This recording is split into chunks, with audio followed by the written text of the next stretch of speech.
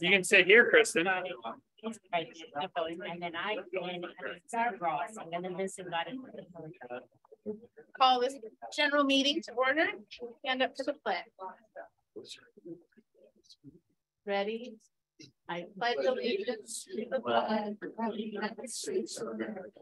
And to the republic for which it stands, one nation, under God.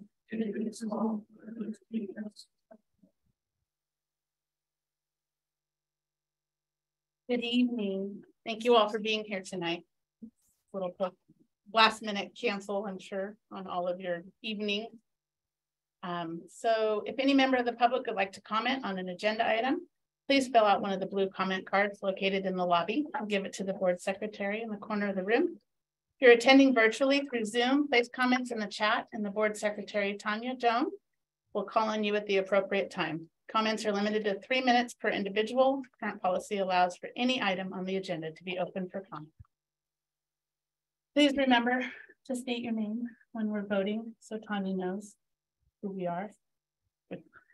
Um, and agenda item 2.0, Superintendent Sweeney.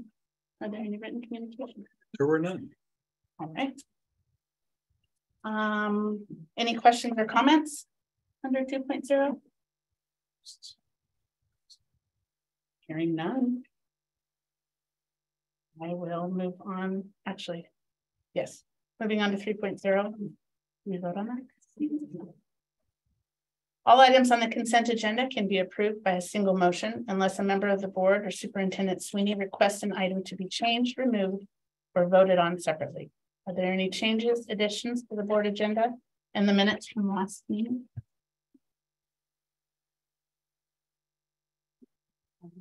This is member Nelson, I motion to accept the uh, consent agenda. Board member Aguilera, second. Right. Having a second, is there any discussion? Hearing none, Tanya, can you do a roll call? vote? Member Dale, Abstain. Consent agenda. Yes. Member Nelson, Yes. member Aguilera, yes. member Richardson, Yes. member Coleman. Yes. Member Wilkins. Yes. All right, 4.0 reports. We have a lot of them tonight. It's a participant. So Highland, Principal Van Manen. Okay, so thank you. We wanted to take an opportunity to talk about our Smile Club. About a year ago, Mr. Cook came to me and said he had found this uh, Smile Club at Oregon State University. You know, the board has talked about this, reaching out to other schools, but we wanted to show what that looks like for our kids. And so we have a couple students to talk, and I'm going to turn it right over to Mr. Cook and Mrs. Jackson, who are two fifth grade teachers who run this program every Tuesday after school. So,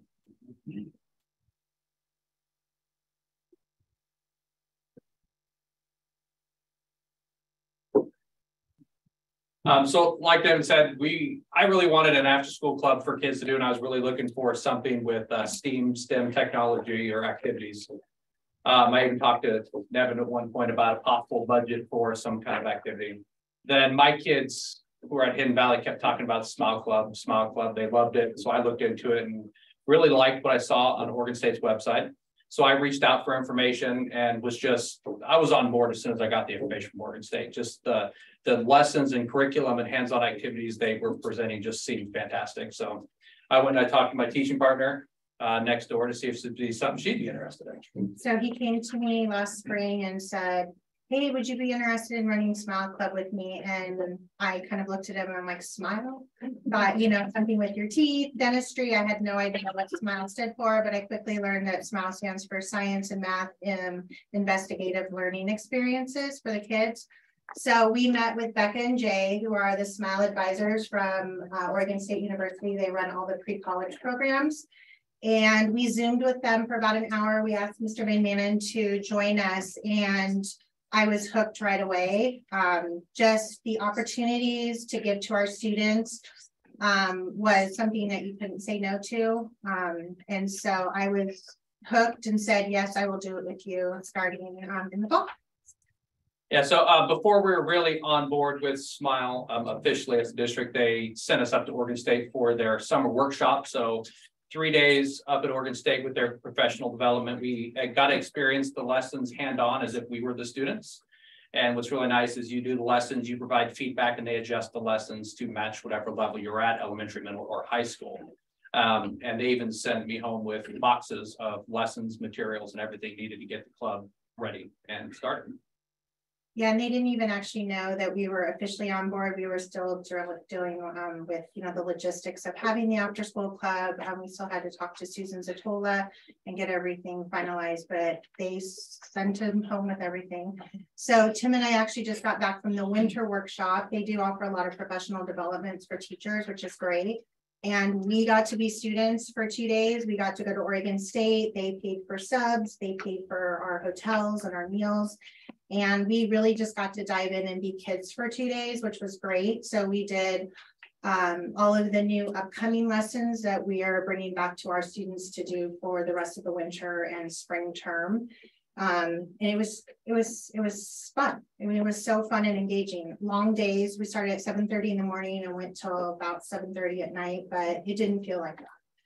Um, the great thing that they're doing this year is we actually have an all day challenge coming up on April 22nd. All of the elementary smile members um, will all be at Southern Oregon University and they get to collaborate together and do challenges together with math and science and art. Um, they get to go on a college tour, they are provided lunch, and it's just a great way for them to collaborate with other students that are involved in SMILE throughout our region. And then they also, we found out when we were up there a couple weeks ago that they're giving us a thousand dollars for our for all each club. Um, we're this will be new to you guys. Um, we get to go on a Springfield trip.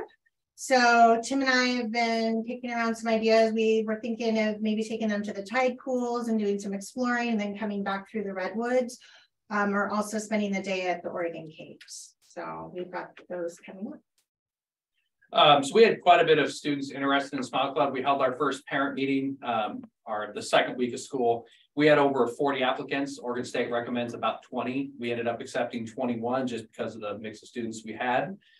Um, the criteria for selection through Oregon State is student must be working at grade level, have good behavior, be recommended by a teacher. Priorities given to students who were previously SMILE members to encourage continuity through the program minority students, low income students, and those who would be the first in their families to go to college. Right now, we have a good 50 50 mix of boys and girls from fourth and fifth grade. We meet one hour a week. Um, also, one of the requirements for having a smile club is a family math and science night. We had ours in October. The, the SMILE program from Oregon State was a huge help in getting this all organized for us. They sent down people, they sent down supplies to help us run the station. And we had over 350 people in the gym that night going through the different what, six stations? Mhm. That's great. Um, so, so far, we started, so we started in September. We've actually already held eighteen club meetings with the students. Some of the things that we've done with them, again, it's all been hands-on, um, is we actually attached a trail cam down at Gilbert Creek and took pictures uh, for a couple weeks of what animals and things that we find down there. And then we studied, so it was called Animals in Our Community uh, spreading infectious diseases, finding patient zero. We did a lesson on cross laminated timber. We've done a lot of nature observations with actual scientific sketching, the labeling and making observations. Um, we've done a super taster gene lesson. We've done a singer and sound wave lesson. That was a big hit. We recently, we've been talking about trees and their growth and how old uh, trees are determined by their rings um, and what it can tell us about their growth rate. And then we also recently did some concept map, uh, excuse me, concept mapping um, with tree growth, identifying the different things a tree needs to grow and how they're actually connected. Um, and then uh, last week we worked on an engineering and design activity where kids had to design a tower with limited resources and limited time. Um, that was a really fun one. Um, we've really tried hard to spread the word to the other schools. That's been the thing of not just having Highland be the Smile Club.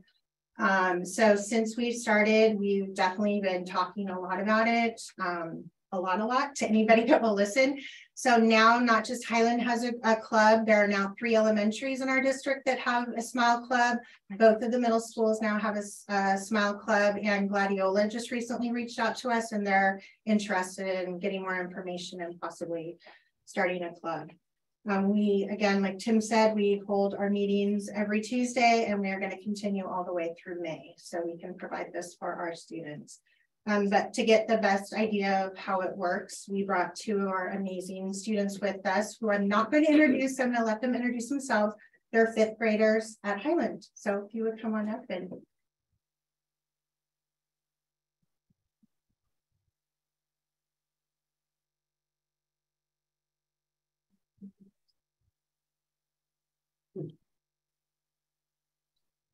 Hi, my name is Remy and I'm in Miss Jackson's class. Hi, my name is Grayson and I'm from Mr. Cook's class. And just to say, we didn't know what they were gonna say, so we might repeat some of the stuff. that they. Um, first thing is, yes, SMILE stands for Science, Math, Investigative Learning Experience experiences. And what it is, it's just a fun club where you get to learn about science, math, art, and there's some writing in there too. And it, I think it's just one of the funnest after school clubs I've ever done. Um, and every week on Tuesday at two thirty PM, we meet in Mr. Cook's classroom to discuss what we are going to be doing that day. Um, the thing that I really like about Smile Club is that it's not just a normal club where you learn normal stuff. It's a club where you really get to use your brain and think about real world problems. What I like most about Smile Club is it's not necessarily just learning. We also get to do fun activities while learning new things and exploring. Um, my favorite project that we've done in the club was the study of epidemiology. Um, that's the study of how diseases spread. And it was just a really fun experiment to do because there was a really cool backstory behind it as well.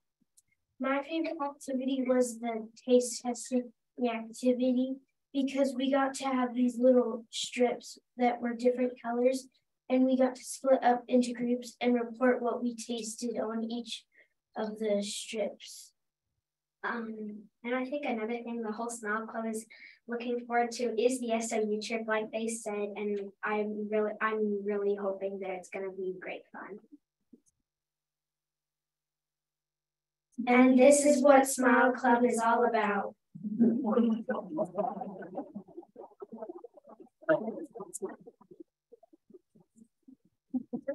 Thank you very much. Yeah, we have a short video that we put together. We can kick that off. So we put a video together.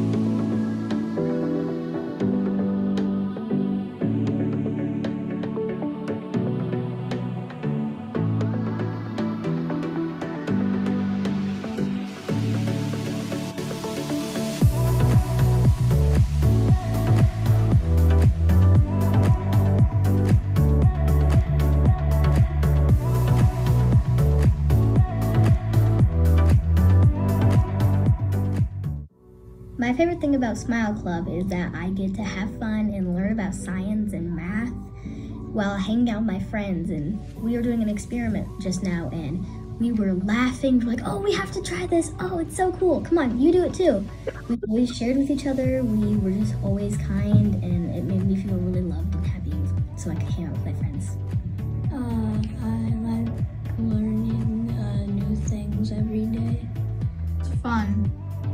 Um, my favorite thing about Smile Club is that the people there are really fun to work with, work with, and so it's really fun being in groups. And also, I learned a lot of things in Smile Club. The thing I like most about Smile Club is that we're doing something new all the time. We're always learning something, and it's just great fun. Um, one of the best parts is just to be around friends that you have and just to learn something new. And it's one of the best after school clubs I've ever been in. That's why I like Smile Club. Fun.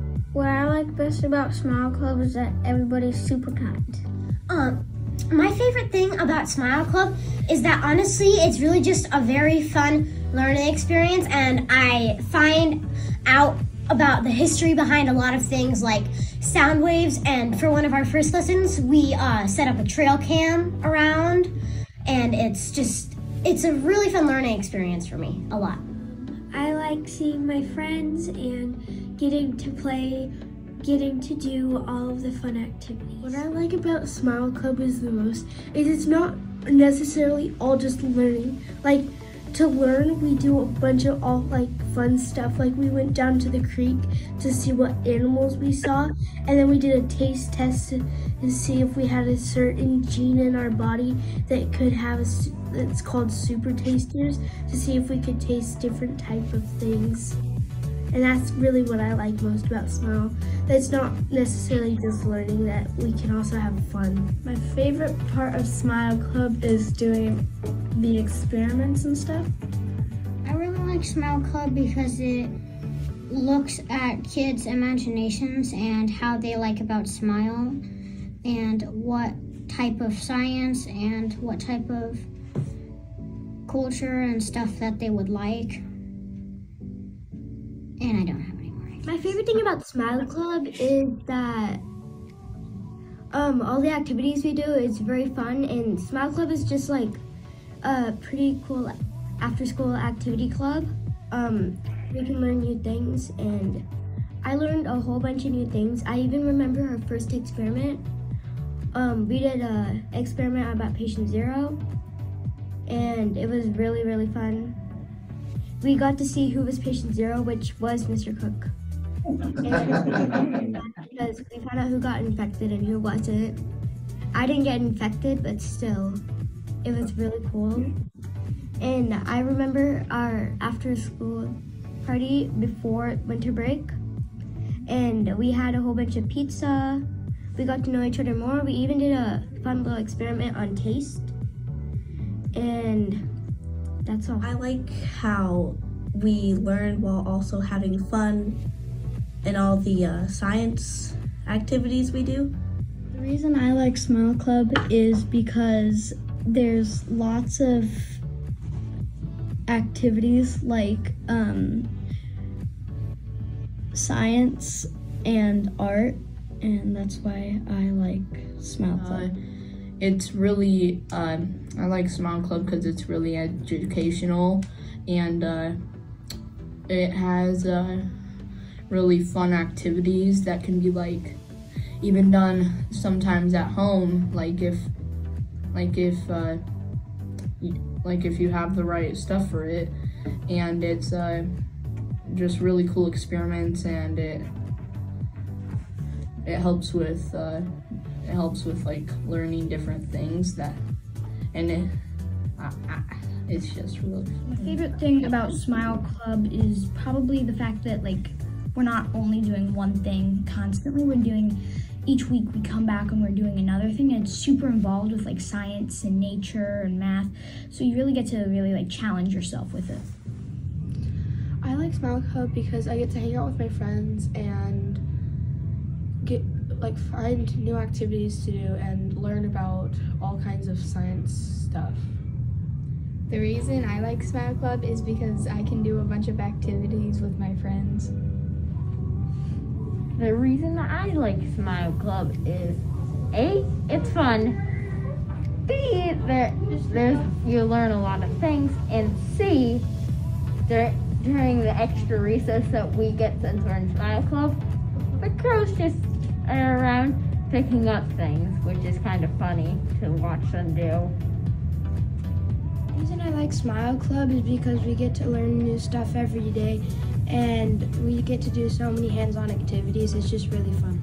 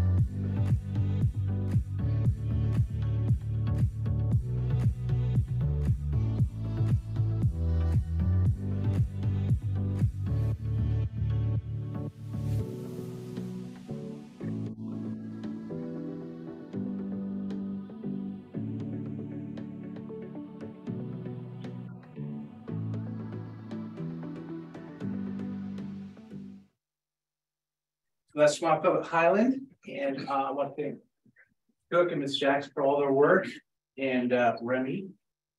Certificate signed by our board chair for your work tonight, and Grayson, thank you. You have any questions for us?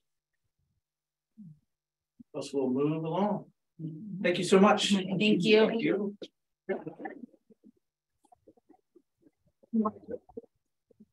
So item number four point two is Project Youth Plus. Taking the roads. Take it, Absolutely. make sure it gets an app. Okay.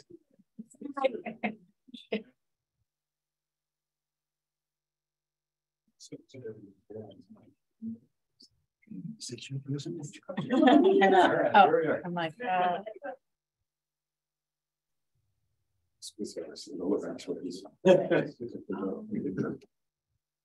Hey, everybody. Uh, Good evening. Good evening. Yes, it's a wonderful uh, honor to be with you all here today and to introduce uh, the new executive director of Project Youth Plus, uh, Carl Thomas. I've been around forever. Uh, my wife and I own a small business in Medford, the salon. Um, it's not huge at all. We have, uh, fourteen stylists, uh, two estheticians and, a guy who does teeth whitening. Uh, and I've worked for the university system. Well, it was a system, um, for twenty-seven years, seven years in Southern Oregon where I graduated, seven years at Oregon State. So I'm familiar with Smile. Um, a quick year at Eastern Oregon University and 11 and a half years at Oregon Tech. But I've served on the board for Project Youth Plus since 2018, and they've been recruiting me into this position because they keep doing great work and getting me to tear up and just pull at my heartstrings when they reach out to families and I drive out to Rogue River to meet with Brenda and we're going to take cash and gift cards to families and because at that time, maybe they weren't really particularly in, uh, concerned about their College Plus account at that point. They were concerned about hygiene items and where they're going to stay. And, and this organization just won me over. I thought I was going to lead the search for the new executive director. And then I decided shortly into that, that I'm going to apply for the position. And they were gracious enough to offer me the position and I, I accepted. So I'm a, a month in a month and three days. Yeah. Uh, and I just want to say that this is my last uh, week uh, working with Project Youth Plus, um, and it's it's been incredible uh, privilege for me to to work at this organization uh, as director for the last five years and for about a year and a half before that. Um, as I was getting onboarded, and um, I'm a son of Southern Oregon, and this has been just an, an incredible opportunity for me. Now it's been it's been a minute since we presented here um, uh, in front of the board. And so Trish encouraged us to kind of start with a top level view of the organization as a, a bit of a refresher for anybody who's not um, as familiar. Uh, so Project Youth Plus, uh, yeah, our, our mission is to increase opportunities uh, for youth to thrive in schools, careers, and life. Um, and uh, this is our picture of our senior send off from twenty twenty-one. This is an event we do uh, every, at the, at the beginning of every summer uh, with all the graduating seniors from all the schools that we serve. Um, and it's uh, usually held up here in uh, Grants Pass. Uh, something we love doing. Um, and I, I think we're going to get to the history here, but yes, here it is. Uh, this organization began in 1998, um, and, and it began in Grants Pass School District with 33 sixth graders, um, I, I, believe at North Middle. And, uh, and we have been growing and evolving ever since. Uh, currently, we're serving 1,500 students a year across our different programs. And go into a little bit of uh, that. Uh, who do we serve? Uh, starting it with sixth graders, so it's middle school and high school. Um, and also, as of two years ago, uh, we now serve out of school youth from age 16 up to age 24.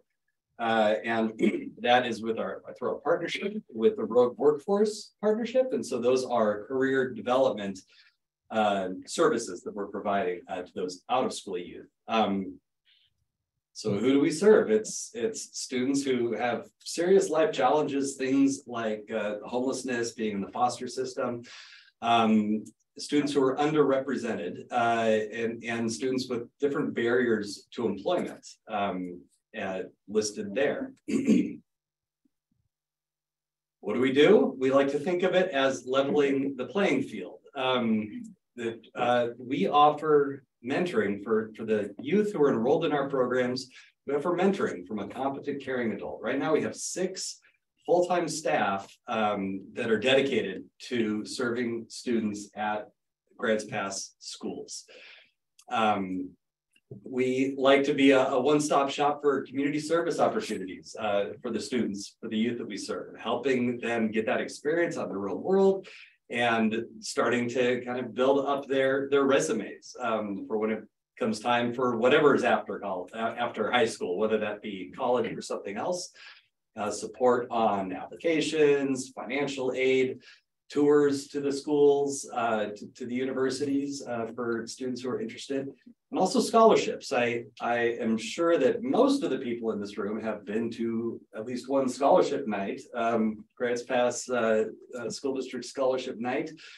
And, and the, the scholarships that, that we hand out uh, on that night there, there's two things. There's senior awards for all the seniors who have uh, graduated and were participating in our programs. And a lot of students are recognized for scholarships that they might have received as early as sixth grade, something that we call the competitive scholarship, where we encourage students to answer all the same questions that they have to answer on an OSAC application or for the, the Redwood uh, Foundation. Same questions, they have to give teacher recommendations. They have to get over that fear of asking for that, uh, and they and they start getting comfortable with an activities chart and understanding that it's good to be involved in things. Um, so that's the, the, those are the the scholarships that we're handing out every year, um, and then also summer enrichment experiences. This is something that has grown dramatically in the last few years. Um, we, we just recently hired someone whose job full-time year-round is helping us prepare and be ready for summer to, to have it as, as jam-packed opportunities and activities as possible. Um, also, something we call barrier removal funds. Um, not burial removal funds that it often gets heard that way, but uh, these are funds that are available uh, for the students in our programs to help them with anything that might present itself as a barrier and anything that could be fixed with uh, some money for an activity fee or perhaps a, a, new pair of shoes or whatever it is. It is it our our staff are creative. They are good at getting to know the the students that they're working with and finding out what are the ways that we can help you. Um, and then finally, individual development accounts. These are matched savings accounts.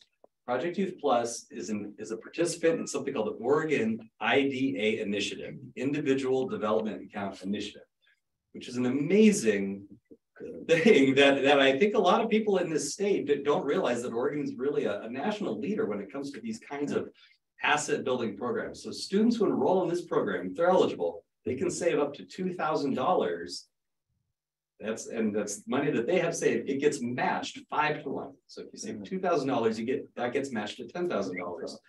To help with what comes after high school. That's great. Yeah, and uh.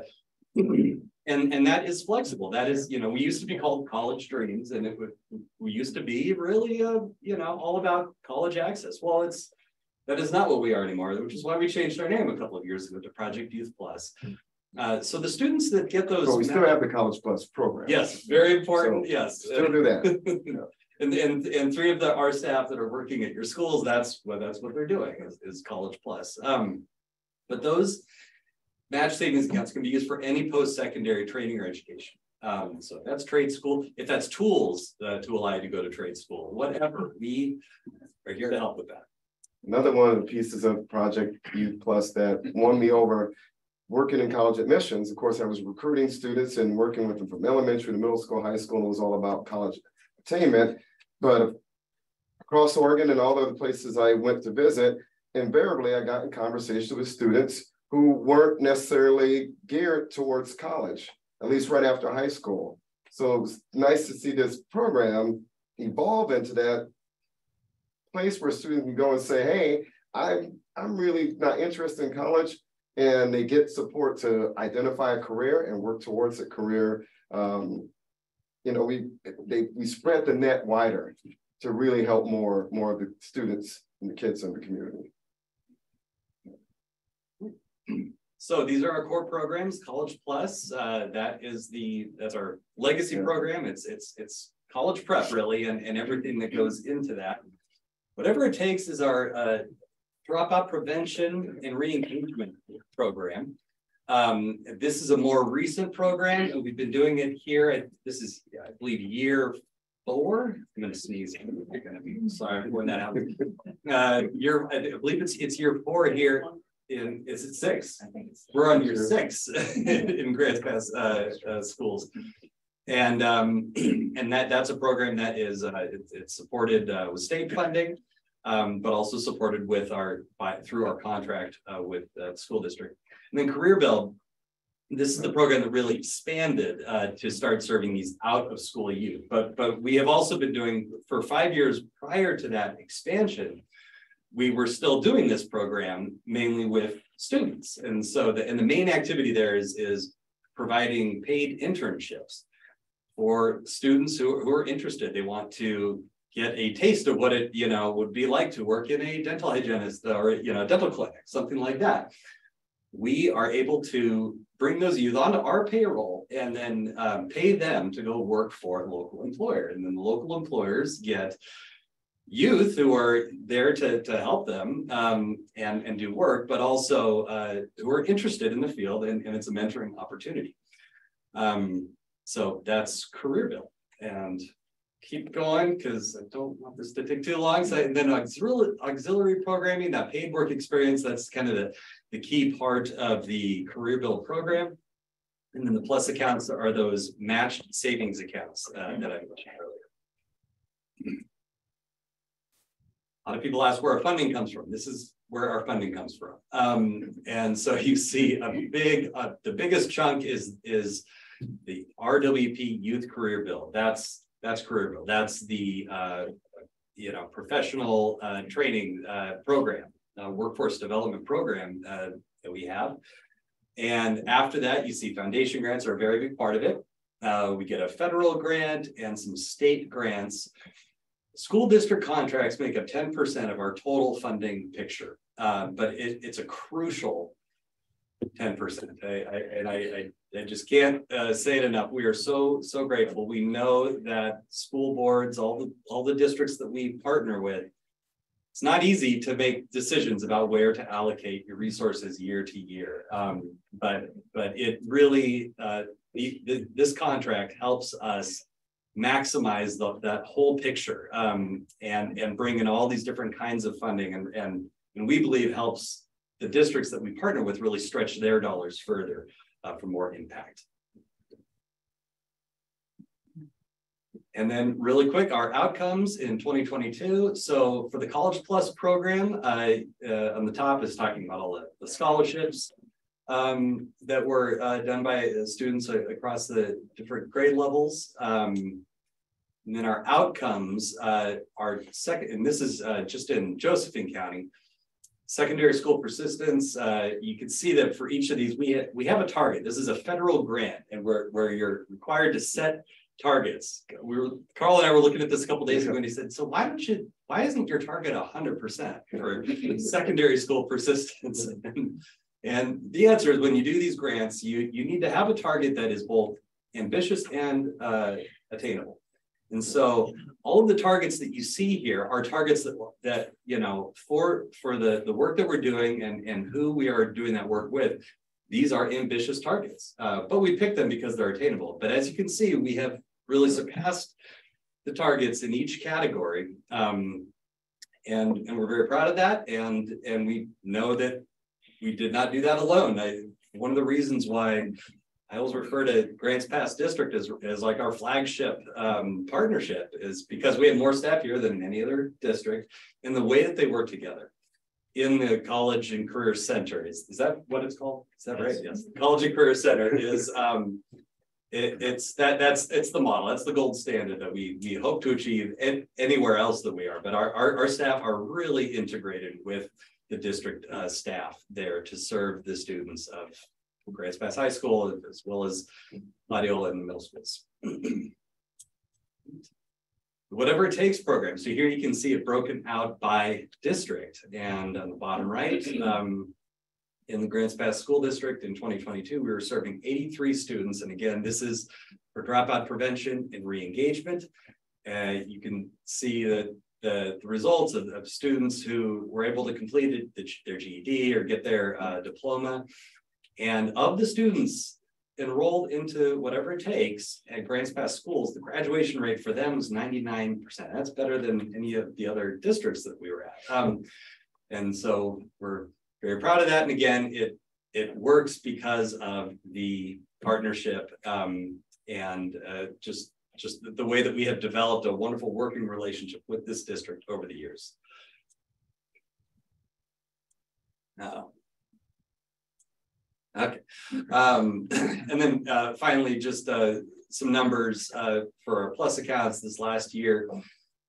Uh, total matched is 418,000, but I to me, it's almost what's more impressive is the total save, the $147,000 saved by middle school and high school students in Southern Oregon. Uh, you know, that's uh, a lot of savings. That's a lot of savings for for minors, you know, youth uh, who are still in school. They're working these jobs whenever they can. So um, uh, that that is just impressive to me. Um, and then in the career build program, uh, here is some of the work that we did with uh, students, you know, providing them with those paid internships, occupational trainings, um, and, and then of those youth who started in career build as out of school youth, 93% of them had have re-engaged in school. and then this is just a graphic, which is impossible to read, but uh, uh, just to give you some idea of what all went on this last summer. We call it the summer of yes. I don't know what we'll call next summer, maybe the summer of absolutely or summer of no brainer. but uh, yeah, we we had a lot going on this last summer, 325 summer experiences.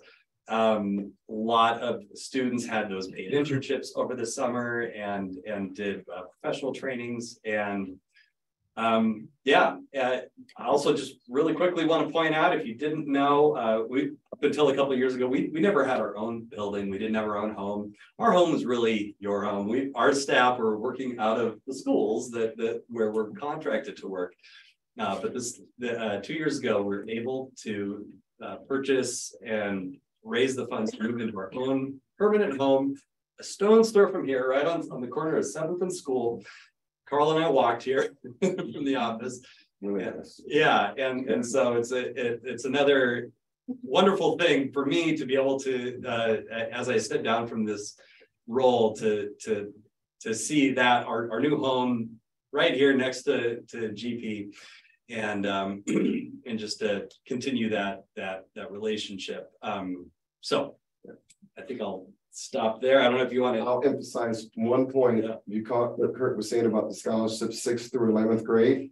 So yes, that potentially your students from sixth grade, seventh, all the way, they can keep getting scholarships. Year after year, so they can really be building their scholarship fund before they even get to having an IDA, a plus account. Um, I mean, it's just so many different ways to help students as they get ready to go to college or get into a career. It's, it's just a fantastic model, but I'll get off my soapbox. every, every student you see receive a scholarship on scholarship night uh, from Project Youth Plus that they have an account in their name at the Redwood Foundation, which is also at our building over here on Seventh School. And um, and that money is there waiting for them uh, when they figure out what comes next, what comes after high school. And um, and you know this, this that I think that that particular activity it was based on research that says if a student has an up to up to not not over up to five hundred dollars saved for college, uh, they are low income and first generation college bound students are three times as likely to enroll in college if they have just just even you know a minimal amount of savings for it. Um, so uh, and yeah, that's uh, I'll just stop right there and, and see if you all have any questions. I want to ask something because I work for Project Youth Plus, but we also I was I was hoping to direct Yeah. you. So um, I, I really feel in my heart that a student, if they have a barrier, it's coming from their parents. And we help students out, especially in Josephine County, we don't have a agency that works with undocumented families like Medford does. So Project Youth Plus has carried on that role. And um, and I love being able to pair up, like last week, pairing up with Mr. Lingo, reaching out to me about a family that we were able to help. And we actually got a donation from House of Glory to to raffle off an item so we can give them the cash money to help them, you know, assist them with the barriers. So that's one of the biggest things that I that I love about this program because we just don't help the student, we also help the parents. And having the parent support is huge because the student just kind of follows right after that, you know, doing better in school for us because they say, wow, you helped my family out and you helped us, you know, achieve this. So it's a great program. Can you speak a little bit about the uh, enrollment process? So How does a young man or young woman enroll and what are the criteria? And you know, we obviously have quite a number that have applied and have been enrolled, but what is the enrollment process? excuse me. So it's a little different uh, for those two programs. College Plus is really based on the term we use is risk factors, but th- there should be a better term for this, but real life challenges. And we are able to to to glean that information from the, the student data uh, that's that's available. And so we kind of do an initial screening that goes through and identifies, you know, who are the students who are academically on track, but based on what we can see about their life situation and based on research that tells us how these populations will fare without some additional support these are the students where, where there, there's really a risk uh, that without additional support they they might experience opportunity gaps.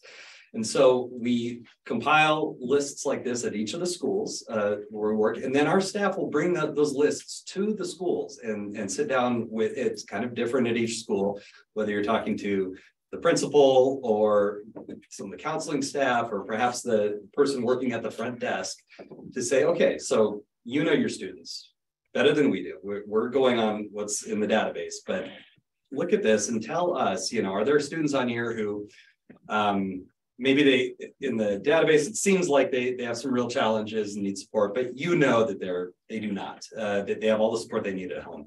So okay so they don't really need to be on this list. And then who are you hoping to see on this list? Um, that where you know maybe they don't quite get flagged you know in our screening process but you know that that they really need that extra support and and then through that process, we come up with the, the, the, right list and, and then we approach those students. We invite them um, to sit down with one of our advisors, explain the program and, you know, give them a, a sheet that explains it and, and invite them to, to take it home and, and speak with the parents about it. And also our staff will follow up with the parents. So that's for College Plus. Whatever it takes is more, the, the, the referrals are more coming from the district. The district uh, really, you know, identifying th- those students who are needing more support, whether they're credit deficient or chronically absent, things like that. They're needing more support to get across the finish line. So you have a ninety-nine percent success rate I saw with whatever it takes program, so. We should enroll every one of our students into. Is that- is that? Our advisors can only take so many on their. Come on now, Brenda. So-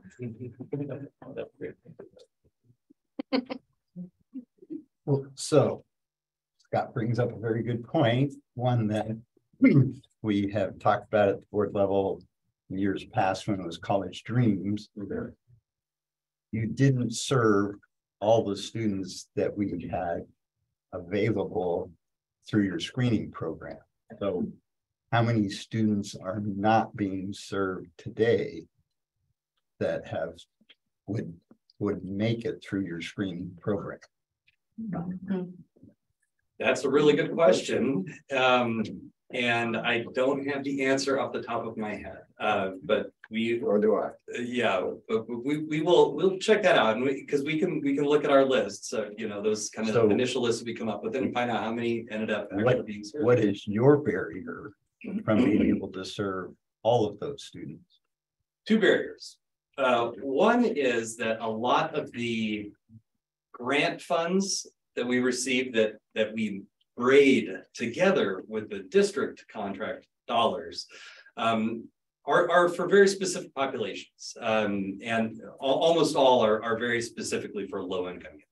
Um, so, so we do have eligibility criteria like that. Um, and um, in addition, it's it works because of that, the funding, you see all the, the funding coming from the different sources. And so we're, we're able to make it work this way because um, the district is able to, you know, provide a certain amount, we've braided with other funding. If, if the district said, okay, we, we want to double our contract and double the number of students served, we would say, wonderful. And, and I believe in, you know, the Grants Pass School District, we could, there are enough students, the, the need is there. Um, but we would also need, it would take time to ramp up to that because we would need to secure the other grant funding and, and things that, that to match to the, the, the school district contract. Um, just because it, it is just a, a part of, you know, so. And address staffing. Yes, yeah. So we have the, So back, Desire to participate in the program. Yeah, that's true. We, we They do. have To participate, you have a number that say no. Yes, yeah. right, we're not talking about those. We're talking about the All the ones ones that who would want participate. Okay, yeah. So a number of years ago, half a dozen or so, back when it was still college dreams. Um, there were enough students. The reason college dreams didn't take more is because the district didn't fund more. And so I think I'm hearing you say today that even if the district funded more, there's not enough other pieces for you to take more of those students that fit that criteria. Unless, yeah, I, unless somehow the district would be able to sort of foot the bill for the total cost. Um, which, which would just be, if you're looking at kind of how much the contract is compared to how many staff are there, how many students are being served. Um, the total cost is a lot more than, uh, than the, the portion covered by the school district. So, so that's, in a, and, and we have done that, you know, we, we have, we have, uh, charter schools, you know, that we've started up at like kind of halfway through the year. And in those, in that situation, they say, you know, we, we want to get one of your staff in here now. And we say, okay, uh, to, to do that, we gotta, we have to ask you for, you know, for the six months or nine months to really cover the full cost. Um, uh, so th- that's, that's it. I mean, it's, it's not an insurmountable barrier. Um, but, uh, yeah, it, our, our funding picture is a complicated beast. And, um, and so, yeah, that, that, it- that does end up kind of being a limiting factor. What are we contracted now to provide as a district? I believe it's hundred and sixteen thousand a year. And how many children, students does that serve? Roughly four hundred and fifty. Across. And that's. Of our that's- students? Yes, okay, and again, that's, that's in the. That's junior high. High and school and the, and the middle schools and Gladio. So we have certain goals that we're trying to attain, but they can't be satisfied in a single year. Mhm. Like we're trying to hit certain graduation targets, we might have to spend money six years in advance of seeing us attain that goal. But so we kind of need to see what kind of numbers it does take for those students who are willing to participate in the program. Because if the data is still holding true as it was back then, those students are actually in the district longer. In other words, if they're not in your program, there's some number of them that drop out, you lose them several years and before they complete. If they're in that program, then they stay longer or complete, which actually brings more dollars to the district, but it's six years in the future. Mm-hmm. So. Okay.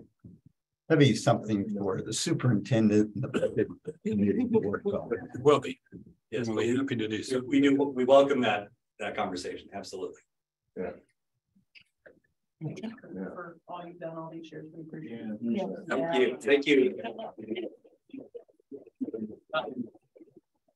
Thank you. I, and I, I, I just quickly want to point out, you know, when I, when I came into this role as the new director, uh, Rich Ward, who was a longtime, uh, board member here with you, uh, was also the president of the board for College Dreams. And, um, he was a great mentor to me, uh, and he really helped me understand how special this district is. I'm not, I swear, I'm not just saying. that.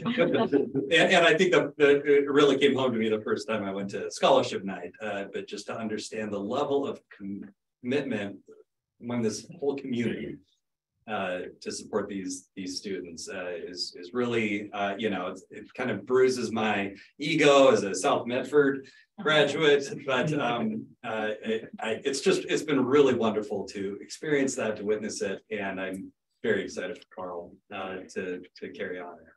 And I grew up here, and I graduated college twice here, in Southern Oregon. SOC, if you remember SOC. Um, and I, I love Southern Oregon, and so I spent all that time in Klamath Falls. And I like an organization that is reaching out to as many kids as we possibly can. Sounds like resources to me. Um, so we can get over that.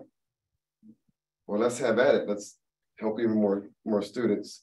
My wife and I love doing things in the community. and This, I, I'm so happy that I'm gonna be able to continue the work that he's done and the rest of the staff is still doing.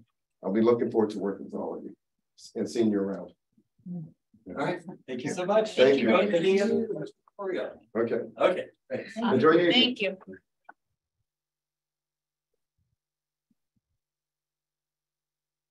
Right, four point three, health program, science program study updates. You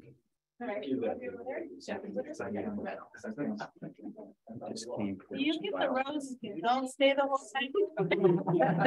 You get half of this. Okay.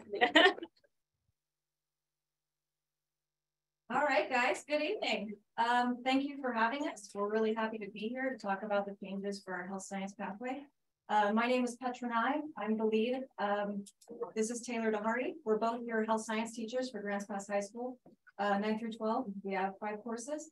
I invited some of our um, HOSA students. HOSA stands for Health Occupation Student Association. So it's an organization that benefits students in the uh, workplace and health occupations. So I have Kaden, who's our president, and I have Alyssa, who's our secretary.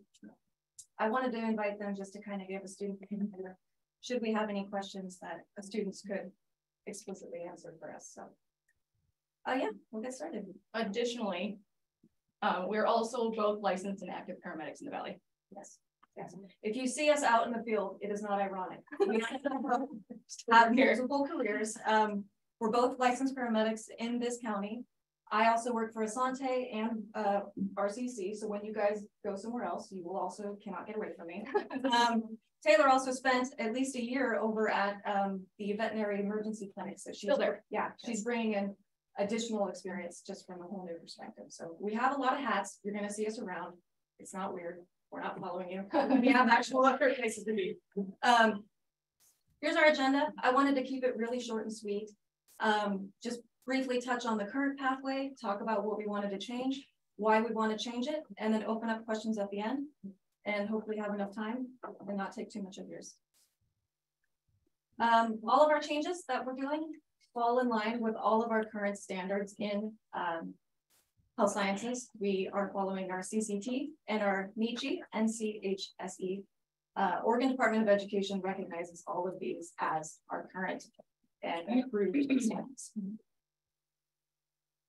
All right, here's our traditional pathway. We've got five courses. They're uh, semester long. We get uh, 0.5 health credit for each of these courses. We've got emergency care, body works, basic medicine, advanced medical skills, and advanced wilderness. This is the current pathway. It's been this way for at least 10, maybe, maybe even longer. Um, the changes that we're going to suggest are our two last classes. These are our advanced courses. So this will be affecting predominantly our juniors and seniors. And the why. Well, medicine is constantly evolving. It's constantly changing. Half of what we learn in our programs of study, even at post-secondary, is technically wrong before we even graduate. We learn yeah, medications fall into favor and out of favor almost every year. We go to school and learn one way, graduate and find that it's already changed before we even had a chance to practice medicine. So we need to be doing that for our students here in school. We need to be constantly updating curriculum and changing all of our skill set, how we do things. The benefit of doing this is that with every change that medicine makes and healthcare makes, creates more opportunities for students to gain employment in the industry. More jobs are being created almost every year. And if we can quickly catch these and you know, bring these into our pathway, we're going to increase employability for the industry. We're going to increase exposure and really just maximize our student opportunity. All right, here's what we're suggesting. We're going to keep emergency care, body works, basic medical skills, all that the same. We want to change the two advanced courses, and what we're suggesting is adding medical terminology. and advanced medical skills is going to be changed in its um, priority. So it's going to be the last class, and we're going to change a lot of the curriculum data. This change would also replace advanced wilderness. Right. So we would be replacing advanced wilderness with medical terminology and changing the structure of how it's set Okay. Medical terminology. It's the language of medicine. We speak it all the time in our field. We speak it so oftenly, often that we forget we're even speaking a second language, but technically we are predominantly Latin and Greek. If students are going to be in this industry, they're going to have to speak this language. They're going to have to understand this language. We suggest including this course in our pathway and offering a dual credit through RCC for medical terminology.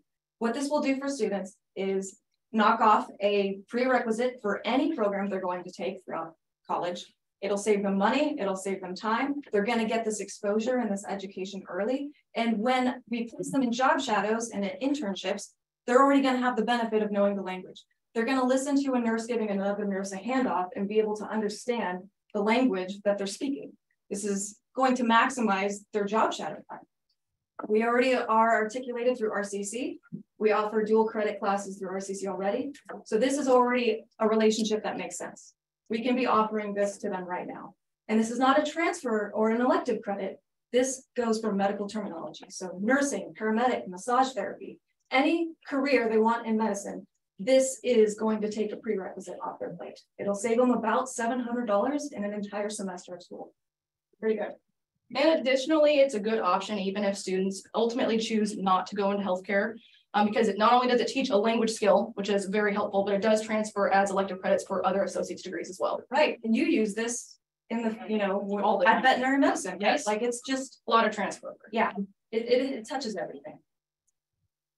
All All right, advanced medical skills. So I wanted to update and add a lot to the curriculum. We're gonna add medication administration, add more sub-Q, IM, IN. Uh, these are all methods in which we administer medication in the field. Adding pharmacology, basically just an intro to pharmacology, advanced airways, medical math, advanced cardiology, and updated medicals such as sepsis. This probably all sounds like a different language to you already when I'm telling you about this, but this is the current latest and greatest currently in the medical field right now. Additionally, we can add certificates for employability such as EKG tech. EKG tech is one of those jobs that kind of just became a hot new job within the last three to five years. And this is something that high school students can obtain here and go work in the field and make, you know, 19 to 20 something an hour at, fresh out of high school. So uh, we're really excited. Our entire goal here is to create more student, you know, opportunities. And when we can add certificates that'll get them out in the industry working, that really excites us because that's where we're here. Additionally, with this curriculum, um, all the things that we have mentioned already are things that both Petra and I are qualified to teach. It would require no additional training on our parts. We already have licensure and education to teach things such as EKG certification. Um, and Petra has also been in contact with some training centers about yeah. making mutually beneficial relationships to help get our students certified. Right. So as she's saying, we can already teach this. We just have to go through a few extra hoops to be able to certify in that. Mm -hmm. But the NHA, as I added at the bottom, is known as the National Health Association. They're the ones who issue certificates and that we would need to become proctors for. Um, we've been in communication with that. So it doesn't sound like it's that far out of reach. I wanted to kind of show some of the local support that we've had. Um, one of the questions that came up during the parental advisory meeting was, how are you guys able to do this at such a low cost? This is how. I I'm up to my eyeballs in supraglottic airways and IV fluids and, and medical devices that they're just pouring out to us because they know that we're dealing with students. I have boxes of laryngoscopes and IO drills. Like this is thousands of dollars worth of stuff that they just said, oh, you're doing something awesome with students, here you go. And this was the first place I reached out to. And I'm on box seven of donations. So, you know, the, the community wants it, the students love it. We've got a lot of support here. We've we've got a lot of passion for this field. We both know this like the back of our hand. And we're just so excited to come share this with students and and kind of, you know, spread this enthusiasm we have a ton of local support. Also, Petra and I both, since we are active paramedics in the field, have a lot of local contacts. Mm. A lot of our local agencies are very excited at these new prospects. It really does give students a leg up in any kind of medical field. And as we know right now, the current climate, we are short on healthcare workers of all kinds. So our local community members, community partners are super excited about this potential. Yeah, yeah. They see future healthcare providers and the right. The right to think that. Um, this is the first of many changes. You're going to see us a lot. You're going to hear us a lot because medication, you know, medicine is always evolving. Healthcare is evolving and changing. We have a lot of things that we want to add here and make awesome. So in the future, potentially, we could align BodyWorks, which is the second class, with RCC to offer more dual credit. Mm -hmm. Additionally, if I if we can partner with the NHA, which we very much plan to do so, they also offer phlebotomy certificates. So it could be in the future that we have two separate pathways, one of EKG tech, one of phleb, that kind of just breaks off from the advanced course. And I don't know what that would look like as far as time or semester or whatnot, but these are these are industry certificates that get kids out in the work field. And mm-hmm. that is what we're about, increasing employability skills. So students can go post-secondary, jump into college and have a skill that gives them clinical exposure, or they can take a moment and work a little bit and, and gain that exposure that way. So we'll be here a lot. We'll be here often. Hopefully we don't, you guys don't get tired of us. Um, this is our information. You can call us, you can email us, you can hop in and come watch our classrooms and just be part of the fun. You know, you might you might see a little stuff. You haven't signed a syllabus, so you might see a little explicit medical uh, imagery, but it's a lot of fun. We have we have a great time, and we wanted to open open this up for questions because I have a feeling that there might be some. Well, I'm so impressed. Thank you. This is awesome. I don't know. Is this gonna take away training from the students that were training for green chain. So I would like to say that the ability for some of our students to get certificates as they graduate from high school has been, I guess, a board goal, at least a personal goal, of students here in District Seven, because clearly the students are able. Um, we have some barriers having to do with certificates come from RCC and that kind of thing. So it looks like Oh, yeah. You're working to solve those kind of issues. Um, I'm only wondering if we're gonna have some difficulties.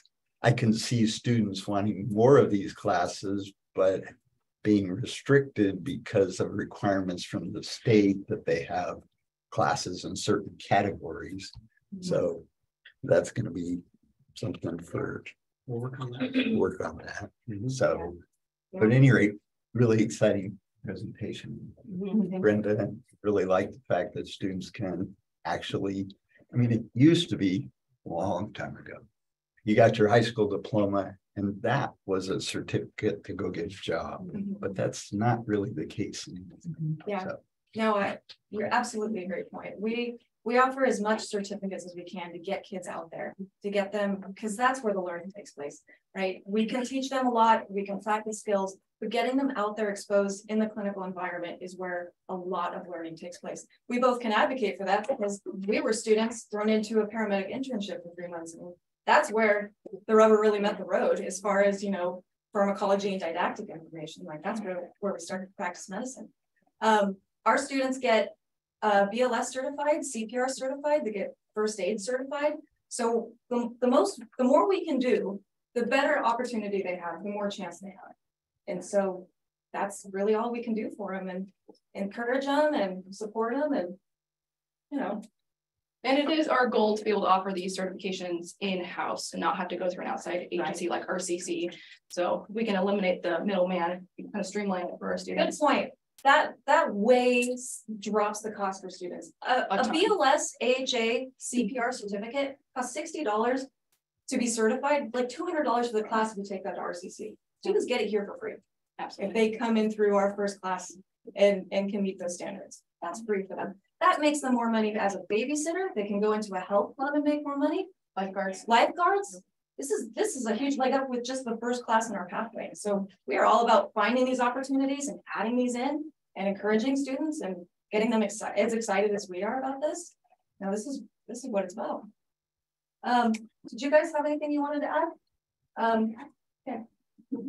I don't want to put you on the spot. I don't want to put you on the spot, but you know, you're both totally excited for these changes, right? Yeah, yeah, personally invested. Yeah, totally, yeah. I think it'll be nice to um take medical terminology before you uh go to um college, because I know it can be quite rigorous there. Absolutely. The benefits of taking it here with me is we've got a few more weeks. So we have, it's not a quarter, we have semesters. We have a few more weeks. We can stretch it out a little bit. We can create more interaction and more collaboration with it. You know, in college, it's here, here's a list of two thousand words, know this, and you get no notes on a test, you get no test retakes, you get no help, build your own resources. Yeah. Come here, take it here. We're gonna do PowerPoints, we're gonna do exercises, we're gonna have fun with it. You know, we both know this, you know, back and forth, up and down. So, you know, I think it'll be better for our students to take care of this. So you guys are, what, which you introduced them, what? Yeah, so Caden is my HOSA president, also health science student, and Alyssa is the HOSA secretary, also health science. So then what, what do you guys do as the president secretary? What do you guys do? Um, in HOSA, we organize um field trips. We also organize the CERT program at our school, which is the um. The final for the class. They go out to um, the firehouse and um exhibit the skills that they've learned over the year. Uh, we organize it all. There's about um, I think thirty students. Um, we had our cert just about a month ago. We went there, set up, um, helped out teachers, um, to, uh, help the freshman test. But other than that, we, um, we organize field trips. And I believe there is like some state competitions Mm-hmm. that might be a possibility in the future for HOSA. Um, because I believe that it's a, a national organization. Yeah.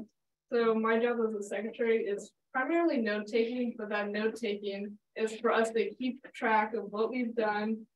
Like what we need to do and what's already accomplished. And pretty much that just keeps us on track to be as most, most efficient as possible. Then also I'm in charge of getting everybody signed in for the morning meetings, sometimes lunch. So up and down. Um, we also have an organizer that's a level below me that is really in charge and keeping me. Yeah, and she keeps all in charge. Yeah, she keeps all of us in charge. And I also act as a third voice, because obviously the vice president's above me. But to Kaden and also this is I to make sure we get what we want and also be the voice of the students within HOSA and also our CTE pathway. Yeah, HOSA is kind of my first choice for like when we, Asante reaches out and wants Christmas trees decorated. Or the local optometrist wants kids for visual exams, or fire, uh, you know, Hillcrest Fire Department, blood pressure clinics. Hillcrest Fire Department reached out, they need victims for their annual training. Oh, I've got thirty warm bodies to send you, you know, like this is perfect. Guess what, kids, you know, you're, guess what you're gonna do? Um, we're gonna take a trip to the RCC Allied Health Fair in April, which is gonna be a lot of fun. We're gonna try to take a trip out to Mercy Flights and thank them for all the generous offers that they, you know, so gracefully have given us for our programs. And uh, yeah, just get them out there. Whenever Valley Immediate Care reached out, they've got a student internship program that I have yet to uh, get back to them on. But yeah, it- so many opportunities in this valley for the young, the dedicated, you know, health aspired individual. And HOSA is really like, it's a more of a connection for that. And additionally, as David said, we have national and state competitions that we're gonna probably try to, you know, see what that's about next year. Additionally, just to put it into perspective, all of what they do, we could not put on CERT without this team. Just last semester alone, we had two hundred and twenty students participate in CERT. That's a lot of facilitating, a lot of things going on. Um, and our HOSA team is really what pulls it together. We would not be able to do it just two of us. So we really appreciate them for that. Hundred percent, yeah. CERT is at the end of E-care, as Kaden was saying, it's our final for our first intro class. It stands for Community Emergency Response Team. So our students have been training, they've been CPR, first aid, and now disaster response trained. And so they get to go to Hillcrest Fire Station and practice a disaster drill with fires, with, with firefighters. They put out a real fire and then go use their, uh, three-story fire tower to practice carrying each other, triaging each other, uh, doing their first aid on each other. And I could not do this without our HOSA team. We could not do this without our HOSA team you know, they're out there in the field, in, you know, in their vests, making sure that nobody gets really hurt and uh, that everyone's doing this correctly. You know, Taylor and I float around, but between the two of us, we just could not do this without them. It also caters quite a lot of respect from our intro students. They get to see what the HOSA team gets to participate in. It makes them really excited about this pathway. Our oh, pathway yeah. is super student driven. A lot of these changes were incited by our current students. 100%. I. Really appreciate you guys being here tonight. Yeah. Thank you very much. Thank you. And email us, call us if you have questions, come in and pop into our class. Absolutely. You know, we love to We'll show you what we're doing. That's nice. Yeah. Thank you for expanding on And as excited as I'm to hear graduation rates, I'm on a five minute break.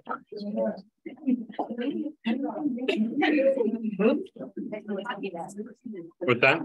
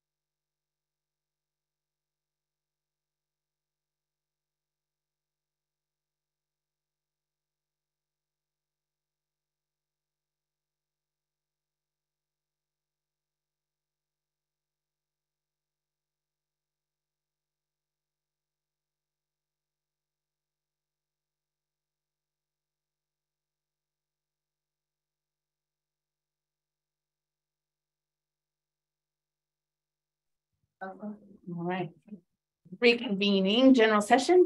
Um, item four point four, graduation rate, Director Evans. Yeah, we just wanted to take a minute. We know um you saw the uh graduation rates come out January twenty-sixth. It's our first board meeting since then to kind of highlight. Our improved graduation requirement, uh, our improved graduation rate. You know, this is a superintendent goal, it's part of our district improvement goal. It's kind of all culminates in students getting across that finish line for a number of presentations already that have talked about getting students there, and it all leads towards these numbers. Um, the first page that you have that's projected up there is district-wide data. Um, looking at the all students category uh, for our graduation rate, we increased as a district from um, the year prior, 77.69% to 79.03%. It's not one and a half percent gain, and our completion rate increased by about 3%. If we really look at all of this data to identify subpopulations and, and how they're doing, um, you know, from past board reports, we pay attention to our students with disabilities, our Hispanic, our EL, as well as our homeless population. And we saw some gains in each one of those categories and some things that we need to continue to work on as a district. The graphs, the next couple of pages, the four-year cohort graduation completer rate. This is the first year. If you want to roll, roll to that for me, Pete.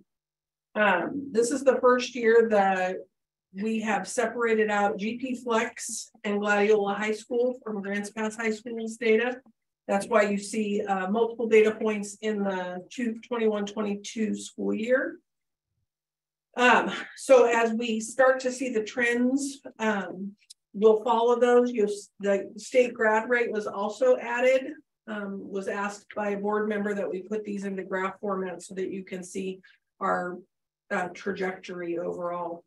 Four-year completer, four-year graduation rates on top, four-year completer rate is on the bottom. Those are students who got it done in four years. But our five-year rate, if you go to the next one, you don't see Gladiola and GP Flex on this one because last year was their first year as an institution. So this is just Grants Pass High School and Grants Pass School District. Next year, you'll see five-year data for Gladiola and for GP Flex. Um, but again, here, proud of the gains we're making. Um, please pay attention mostly to that five-year cohort completer rate on the bottom, 88.99%.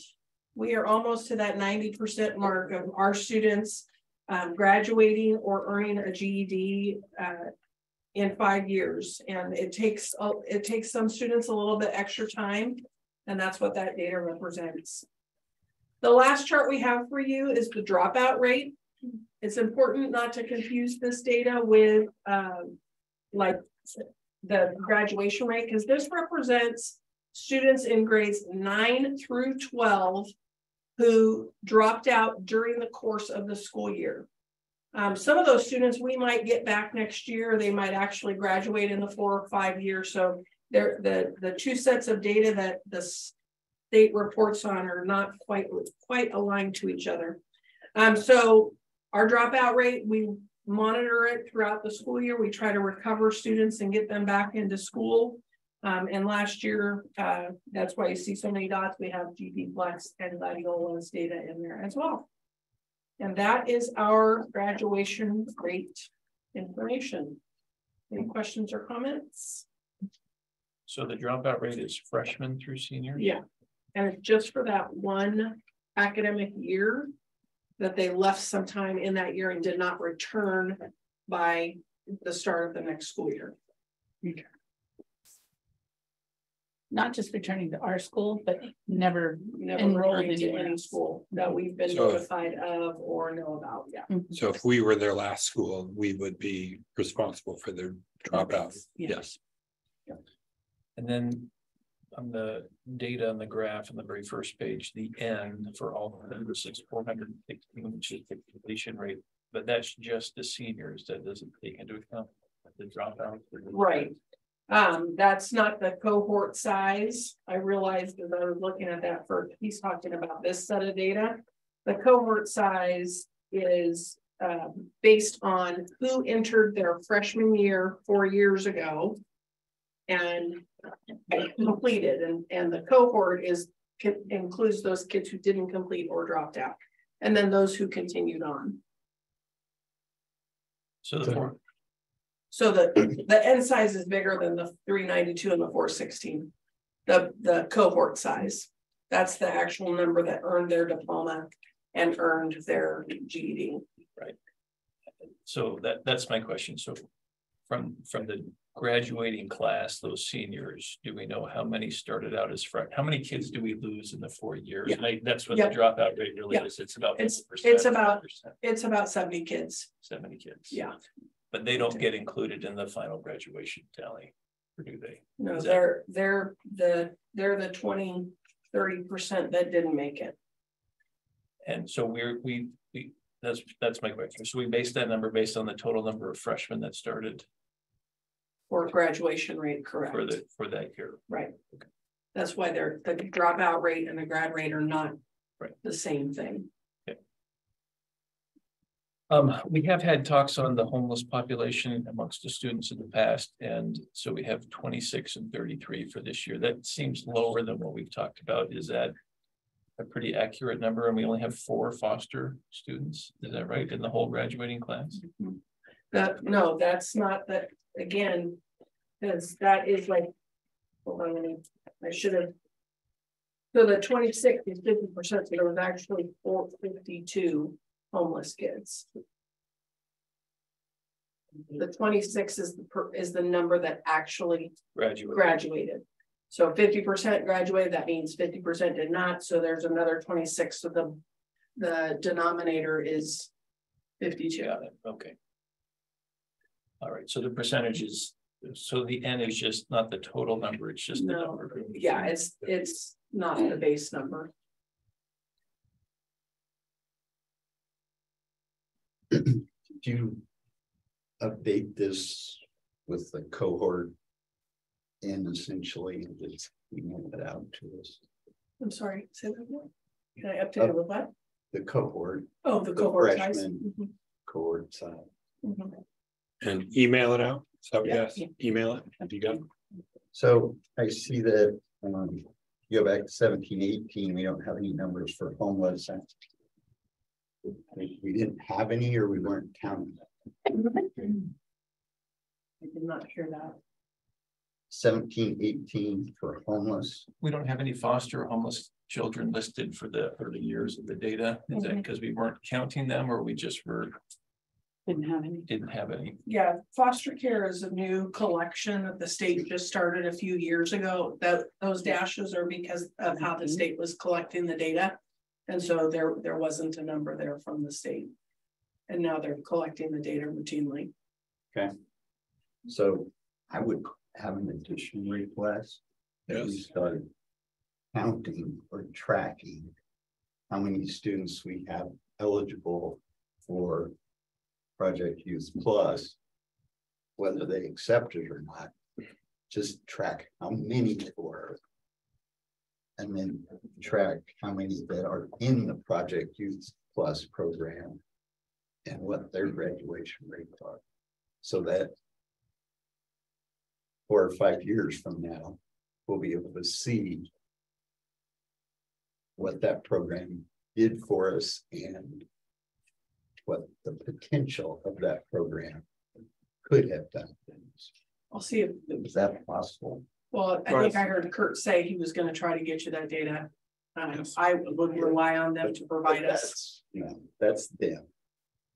They're What our you- kids. We know that whether Right. they are harmed. What you're saying is how many kids could have possibly been served because of they met the criteria. met the criteria but weren't served, and we want to track both cohort cohorts, those that were served and those that weren't. served. Correct. We need to wait year after year. Till we get four or five years worth, so we can see what the data looks like. Because I would be interested to know how much money it would cost to expand the program so that as we come into the next budgetary cycles, we can look at that. You know, if we're, if our commitment is hundred and sixteen thousand dollars for four hundred and fifty students. Mhm. And we should be serving seven hundred students, And I recognize that not all the funding comes from us, but what contribution on our end could then help us get access to seven hundred and fifty students or whatever that number is. Got it. Um, he said that ninety-nine percent of their enrollees in their program graduated from high school. Yes. Great. I don't know what they're doing that's so amazing, but whatever we need to do to support something like that, so we can see all of these homeless and foster kids and the migrants and whoever else qualifies for that program. I think that's money well spent. If we're gonna put our money somewhere, that seems to be a good program. So, Okay. And we'll look at, at that. I'd be curious to know what that ninety-nine percent actually represents. If they. Well, me too. I, mm-hmm. I'd like a little bit more information, like if it seems too good to be true, oftentimes it is, but I would like to know. Right. Mm-hmm. So. If we track it for a few years, we'll know. Tanya, you're writing all this down. Well, and also, can we put the denominator on here when we do this data again? Because, I think that's what hearings have me to do. and I'll- right, I mean, Send it out to you. the N and the percentage. We should have the total number on there too, just to give us a. an idea. We can do that. Excellent. Anybody else? Thank you, Trish. Yes, thank you. Thank you. The numbers are improving. So. Yes, they are. Good seeing. And the opportunities are improving. I'll go on to the next agenda item if that's okay. Early college guidelines and procedures. Um. It was, I think it was last board meeting, you had a presentation on Naviance and there was a couple of questions from the board related to. College experiences for students while they're in. In our school. We've been working on our procedures and guidelines, following state guidelines and laws related to um. Enrolling kids in school at the same time that they're attending Rogue Community College. Early college is a program that Rogue Community College offers. Um, it is available only to students who are sixteen years of age or older. Enrolled in eleventh or twelfth grade. We're working on making sure that our uh, parents and our students are aware of the early college program. Um, we have a number of students participating already this year and we hope to increase that next year. You see some of the criteria related to, uh, a student really has to come with a plan and a drive. Um, students who participate in early college or students who know what their path is and, um, can uh, navigate college early on. RCC doesn't allow us to do any of that work for them. I think uh, we have an early college student here who can tell you how difficult it was to navigate RCC. Um, we will cover the cost of tuition, college admission. Um, there are a few things they have, the student has to do on the RCC checklist. And then the- it is possible to be earning credit at the same time, high school credit at the same time they're earning college credit. Um, the second page is our uh, parent agreement form. What we want to make sure is clear to the student and the parent who take on the challenge of participating in early college is that it's a real commitment on their part. Um, and if they don't complete the course that they have registered for, that they'll um, be responsible for reimbursing the district for the costs associated with the class. So we really want to make sure students have a plan going in and that they are successful um, in our early college program. We have this uh, right now in our uh, cour- course catalog and we'll be putting it on our district website as well so that families know more about it. Counselors are already talking with their students about it um, at both, uh, at all three of our high schools, GP Flex, Gladiola, and Grants Pass High School. All right. How's early college going for you, Rhea? It is going well so far. I'm really liking the flexibility of it, including with like GP Flex I'm doing. I have about two courses I'm doing online and I am going to RCC Tuesdays and Thursdays from one to two fifty-ish. It's going well so far. I just finished up with the midterm last Thursday. Great. Good news. All right, thank you, Trish. Are there any questions? Okay, four point six, ZCS. Colleges to restrooms, here we go. Um, Thank So you for waiting. I think the board's aware that we've been working on a project uh, since last spring when it was approved for ESSER dollars to do a redesign of our secondary school bathrooms. The big idea is that people have choice. And so with the redesign, it's our hope that students can choose from traditional bathroom settings to a new bathroom that I'm gonna let them talk about. And even self-contained bathrooms, um, so that there's choices for students to feel as safe and secure as possible at school. So anyway, uh, Jake is online, and so I think he's gonna help do some of our uh, presentation for us. And then you're gonna do the rest, right? Yeah, Stephen. So, um, are we gonna have Jake first? Is that how this works? Um, so I think I'll just give kind of a brief introduction. Um, so I'm Stephen Chase. I'm a project manager with ZCS Engineering and Architecture. Uh, I got involved on this project uh, with my experience with Three Rivers doing something similar at their high schools and their middle schools. So it was a good fit for me to join the team on this one. Uh, Jake is our um, lead architect on the project. He's out of Portland. He couldn't make it down here today, so he's joining us on Zoom. Um, passed out a few of the floor plan layouts of the proposed restroom renovations to the board and some of the members um, of the community. So Jake is going to do a screen share and walk us through the um, the why. And some of the goals that we learned on recent projects for this are how do we balance safety, security, and privacy for the students? And so Jake's going to talk about those points and the intent behind the design and our current um, progress on the drawings and where we're at.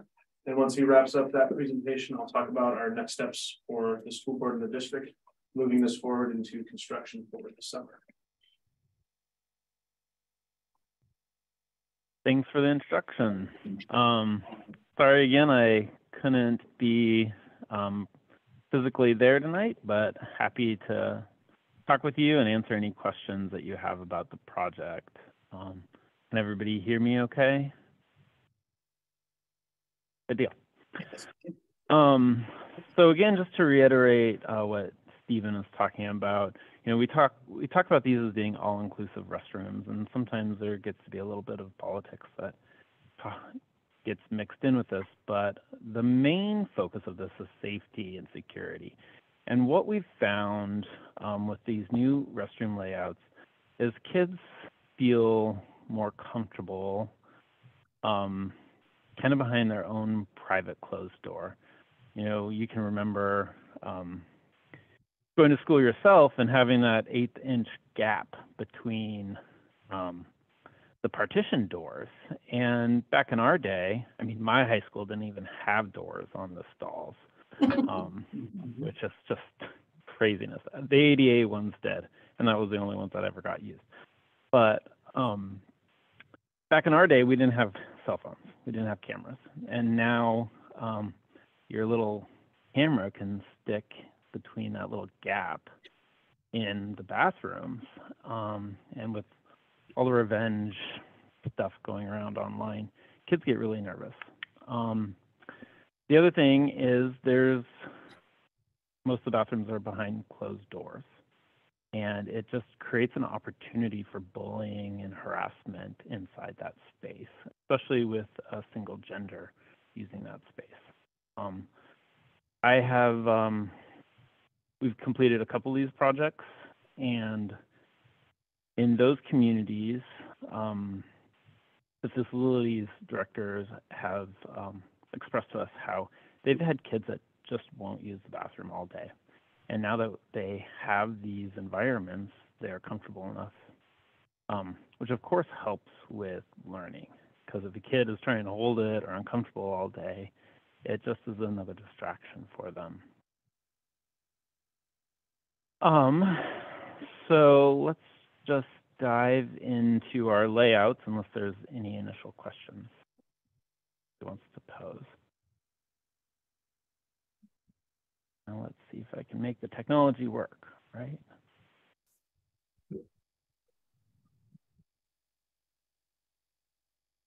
Here's screen. Should be an option on the bottom of your screen for a screen share. If not, we might have to add you as a presenter. Oh, yeah. I think I can do screen three. Here we go. All right. Can everyone see that okay? Um, so we'll start with uh, Grants Pass High School. Um, and currently, there's um, two separate restrooms in this area. Um, the solution for this, um, well, and one thing that the board has requested is that every one of these restroom groups has um, private restrooms available as well. So if a kid doesn't feel um, comfortable um, in the mixed environment, they do have the option to go to a single user restroom um, that has its own sink, toilet, and the works. Um, the other thing that we've found with doing these is the teachers really love them because if um, they can't quite make it to the staff bathroom, there is a private bathroom um, down the hall from their classrooms. So that's what this is indicating here. Um, one of the solutions is we try and make that opening into the bathroom as big as possible. That gives clearer line of sight for staff, teachers, and just either other students to just notice if something uh, nefarious is going on in that space. Um, so in these spaces, each one has a two by four framed wall with sheathing, the whole works. Um, we're proposing wall hung toilets. Um, these are great because we can mop underneath of them, kind of the larger space behind these stalls. Um, an ADA stall, an ambulatory stall, and then um, we find a lot of efficiencies with these uh, trough Um, we have a single uh, plumbing connection instead of having multiple plumbing connections. Um, the planning department is requiring that we meet um, the plumbing uh, one for one. So we have as many toilets and sinks as there were originally in the school and fit them into this facility. Um, the fronts of the doors right now we're proposing to be um, toilet partition material. The new toilet partitions, um, the frames are rabbeted um, at the opening, so when they close, there's no clear line of sight. And then um, we spec a piano hinge on the hinge side. So again, there's no clear line of sight. Um, we find that the bathroom partition for the front is a more durable material. Um, there's just it's easier to maintain if something goes wrong, and it's a little more cost effective um, in the end. Um, we like to spec. Let's see if I can find right handle. So we like to spec a little bit of a more uh, durable handle than just the little slides that you would normally see in those partitions. So it's more like a residential handle um, with an occupancy indicator. You know if somebody is in there. Um, these all will be on um, spring hinges, so they'll spring mostly closed. There'll just be a little like inch gap that they'll hold open. So if you worry about these being in the way, that is the solution for that. Um, there's no questions on uh, Grants Pass High Jake, I didn't, we didn't Um, get pictures of the material. Can you blow up? Can you go back to, what is the door material made up of again? Um, so we like to spec a, it's a plastic material. It's recycled, and there's lots of options. Let me find that again. Um, so there's lots of options. Um, it's the same material that like a plastic cutting board is made out of. Um, and one of the benefits to it, A, it's recyclable, it's very durable, um, it's super cleanable. And the other nice thing is if somebody takes a knife and tries to carve something into it, um, all you have to do is take a lighter and like a back of a spoon and heat heat up the material and you can buff out. Um, Oh, there we go. That's what we were. yeah, yeah. I think, Jake, my, So- my question, my question really is, as I'm looking at the pictures, the, the doors do not go down to the floor. So is there still a space underneath or do, are these, because on the, on the drawing there, it seems to go down to the floor and that's, that's my question. is we're talking about safety and privacy, do they go down to the floor? Is this a can- enclosed space or are these just dividers like we typically see in a bathroom? Yeah, they are an enclosed space. So these are just kind of showing typical ones, but um, there's an inch gap at the bottom just because we need that uh, mostly for airflow because the each toilet stall will have its own exhaust hood, so you're sucking air under the door and up, but it's only an inch. Um, and then they'll go all the way to the top, and then the walls between these are framed walls. So these are two by four stud walls, bottom to top. Um, we typically put the ceiling heights in these stalls at eight feet so that the ductwork can run through them.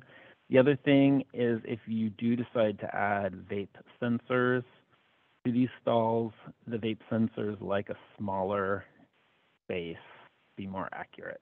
Otherwise, sometimes it takes a second for them to read if it was in there. I'm not quite sure if you guys are using vape sensors yet. We need a on my to list to chat with you guys about. So on the doors, uh, being full height, there is an option to, because we need that ventilation, each individual stall has its own individual vent pulling the air out.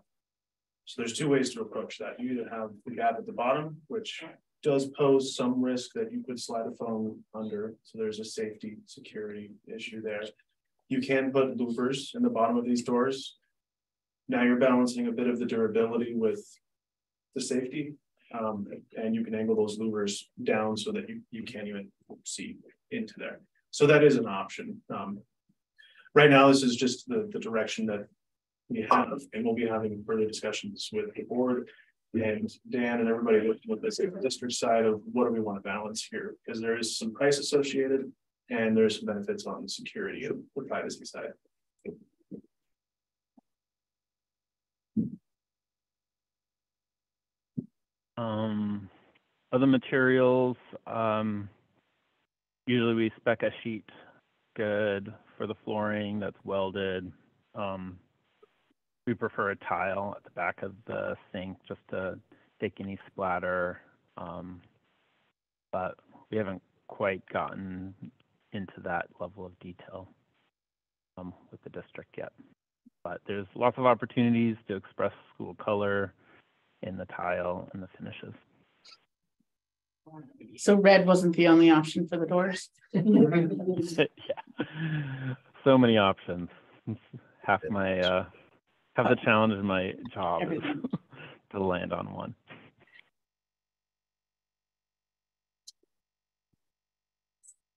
Um, if there's no questions on this one, we'll move on to the next. Yeah. I think we have, we have someone that has a question. Okay. Is this just in one building in the high school and then one building in the north and one in south? Or Yes, is, so is this just in the main building?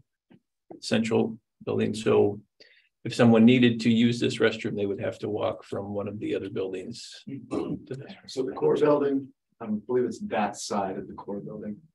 Um, at north, it would be, uh, where the band room is. Two bathrooms there, and the south is the one at the end of the main hall, um, as you walk in. Is there a reason why south bathroom is so much smaller than north? Uh, yeah, that's the matching the one-to-one things and. And space available, so. It's because we beat them in basketball so badly.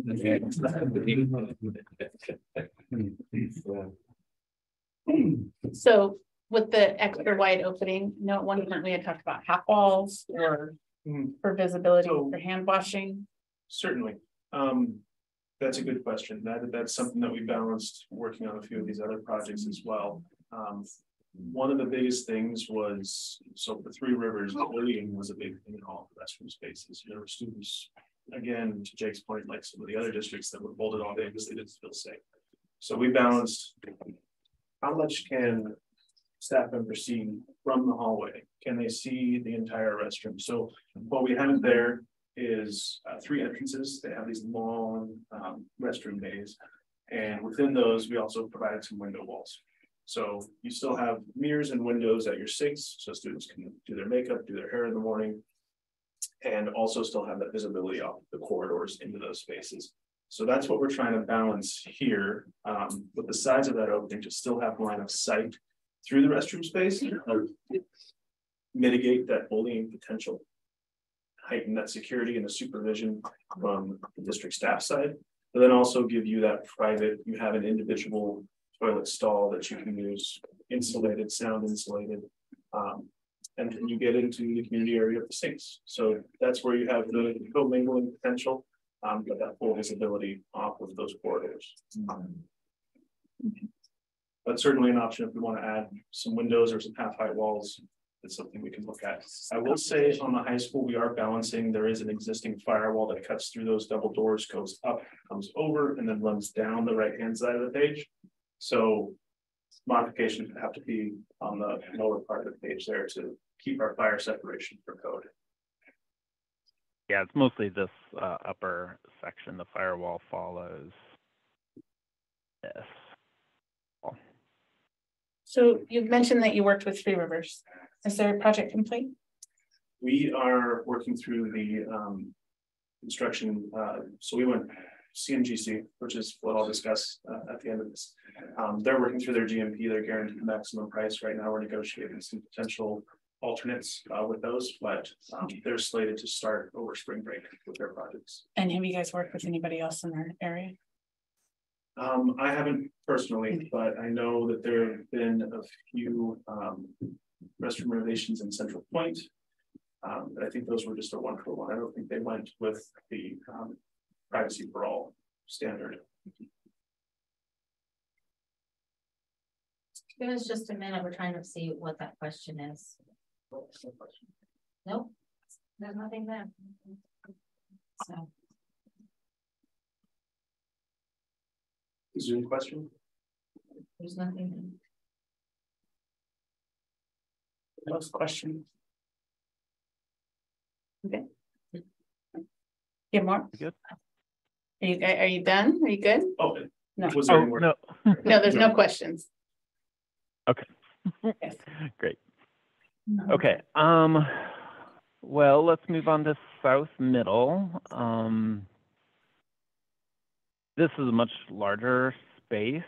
Um, you know, a new school, I think there, this would be kind of the goal is to have this much of an opening, um, from the hall. Um, so this was nice that we were able to do this. Um, again, we were able to add a single user private um, stall um, for toilets and um, for sinks. Well, um, again, this one will have wall hung toilets. I think the disparity there, sorry, Jake, is because maintenance needs to still have some space as well. And we're cutting into their um room a little bit.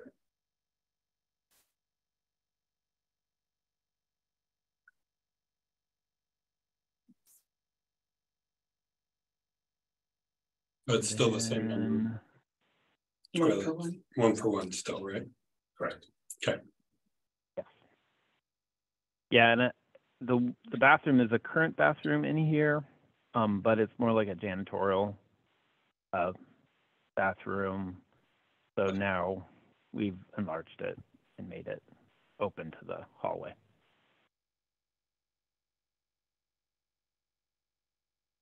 And then last is North Middle School. Now this one was a little trickier. Um, I think if we would challenge the building department, we could reduce the plumbing count, but that's a whole hassle. go through. So this was a little tighter to get all the toilets. Um, this building is accessed from the exterior, so these are exterior doors. Um, so I do think that we talked about adding some windows in here, which I Yes, we did. So we'll add um, windows in here. The doors will, uh, these doors into them will be three quarter windows. So we'll leave a solid part for about two feet on the bottom. So kids can, you know, kick the doors open as they do and not break the glass. So they, there will be visibility in the doors. Um, we can put them on hold opens so that when the days are nice, we can um, leave them open. Um, again, we have one single user restroom that's accessed from the outside, and then um, our series of stalls. This one is a little tighter, um, and this one is on a well, so we will be um, using pressure assist tank toilets. Um, and we found a model that has a locking lid. Um, because kids hide things in toilets, I guess. One, one comment we had um, on the early projects was kids were hiding vape pens in the toilets that had tanks, so. With this being on a well and not enough water pressure running those flushometers, having a locking lid that only maintenance can open. I need clarification. Are we on north or south? North. So north is on a well. This as one's well? on north. As well as well? Is it? Yeah, I don't think they are. Sorry, South is on a well. Yeah. Yeah. Was it South, Jake? South is on. It was south. So no pressure assists on north. Right now, they're drawn as wall hungs, and that's what we have the space for. A Little bit more space on south, so the tank toilets will work. Great. Okay. Yeah, okay, yeah, sorry. Thank you for that clarification. The, these ones will be floor mounted pressure. Um, No. flush valve toilets, just because we don't have the room for the hanger. Um, when you do a wall mounted toilet, you need about a foot. Um, to support the toilet. So these will be flush valves. Helps prevent clogging. So these are accessed from the outside. I'm just thinking of north. I know where the band rooms are, but it's not the inside hallway. You have to go outside under the overhangs, right, to access these. Okay. Yeah, this is the outside. Um, I have to have a a little bit of a model of that. So you access them through here. So we will need to um, move some lockers around, but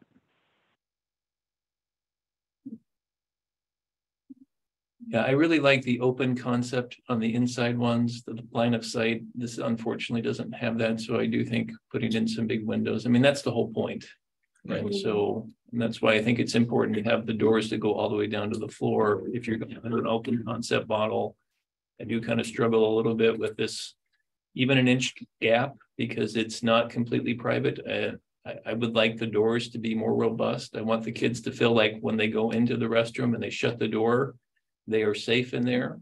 Um, so those are the things that I, I want, I, I'm looking for. Like, I, I like the open concept. I hope that we will con- continue with that. I don't know what, what modifications can be made at North, but I really want to see that safety. And I'm looking forward to the day when we talk about redoing locker rooms where we have a big open room for the team to sit and then changing rooms that people can go into and change. Um, because uh, from your experience and my experience in high school, all of the bullying takes place in a locker room and in the restroom. And I was one of the kids that would not go to the bathroom at school. Um, so these are important things, I think, for all the students to feel safe that they can go in, go to the bathroom and not have to worry about it. So.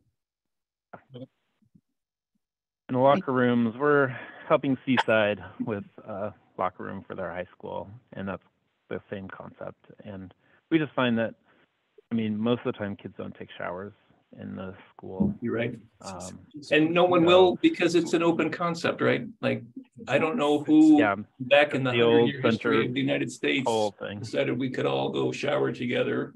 But that's an, an antiquated model that needed to change. And uh, so, I mean, I think we need to, you know, as we, as we move forward, we need to look at redesigning a number of these design flaws and making them more up to date, so. I know that at one point I want to reach to the middle school guys. We talked, we talked about maybe even high school. Um, feet counts. Does it, being able to see how many feet are in the stalls? Is that, do we strike a balance on that or is that still necessary or?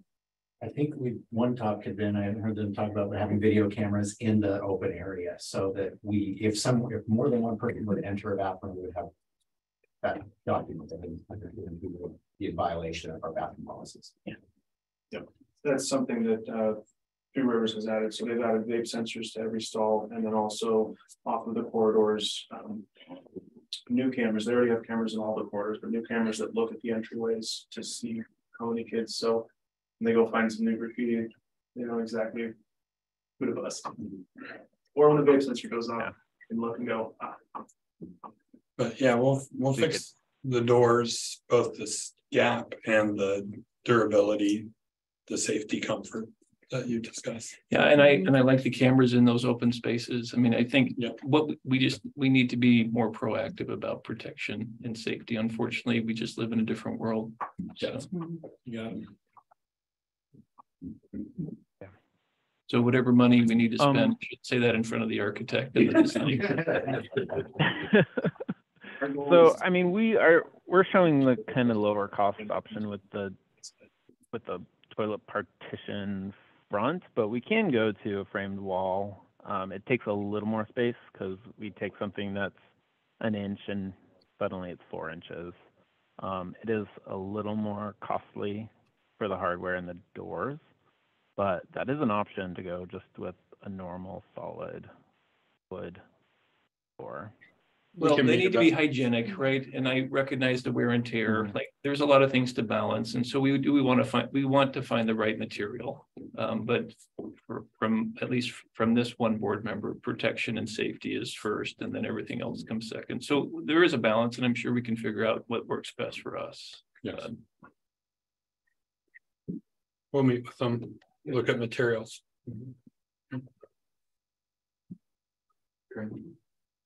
CMGC, right? CMGC, so. Uh, if there's no more questions on the layouts or floor plans, I can kind of jump into the next steps. Yep. Um, what we like to recommend for these projects, and I know the district is familiar with these on all of the seismic retrofits that we've done, is the construction manager general contractor approach. What that is, is an alternate procurement method to getting construction done by a contractor.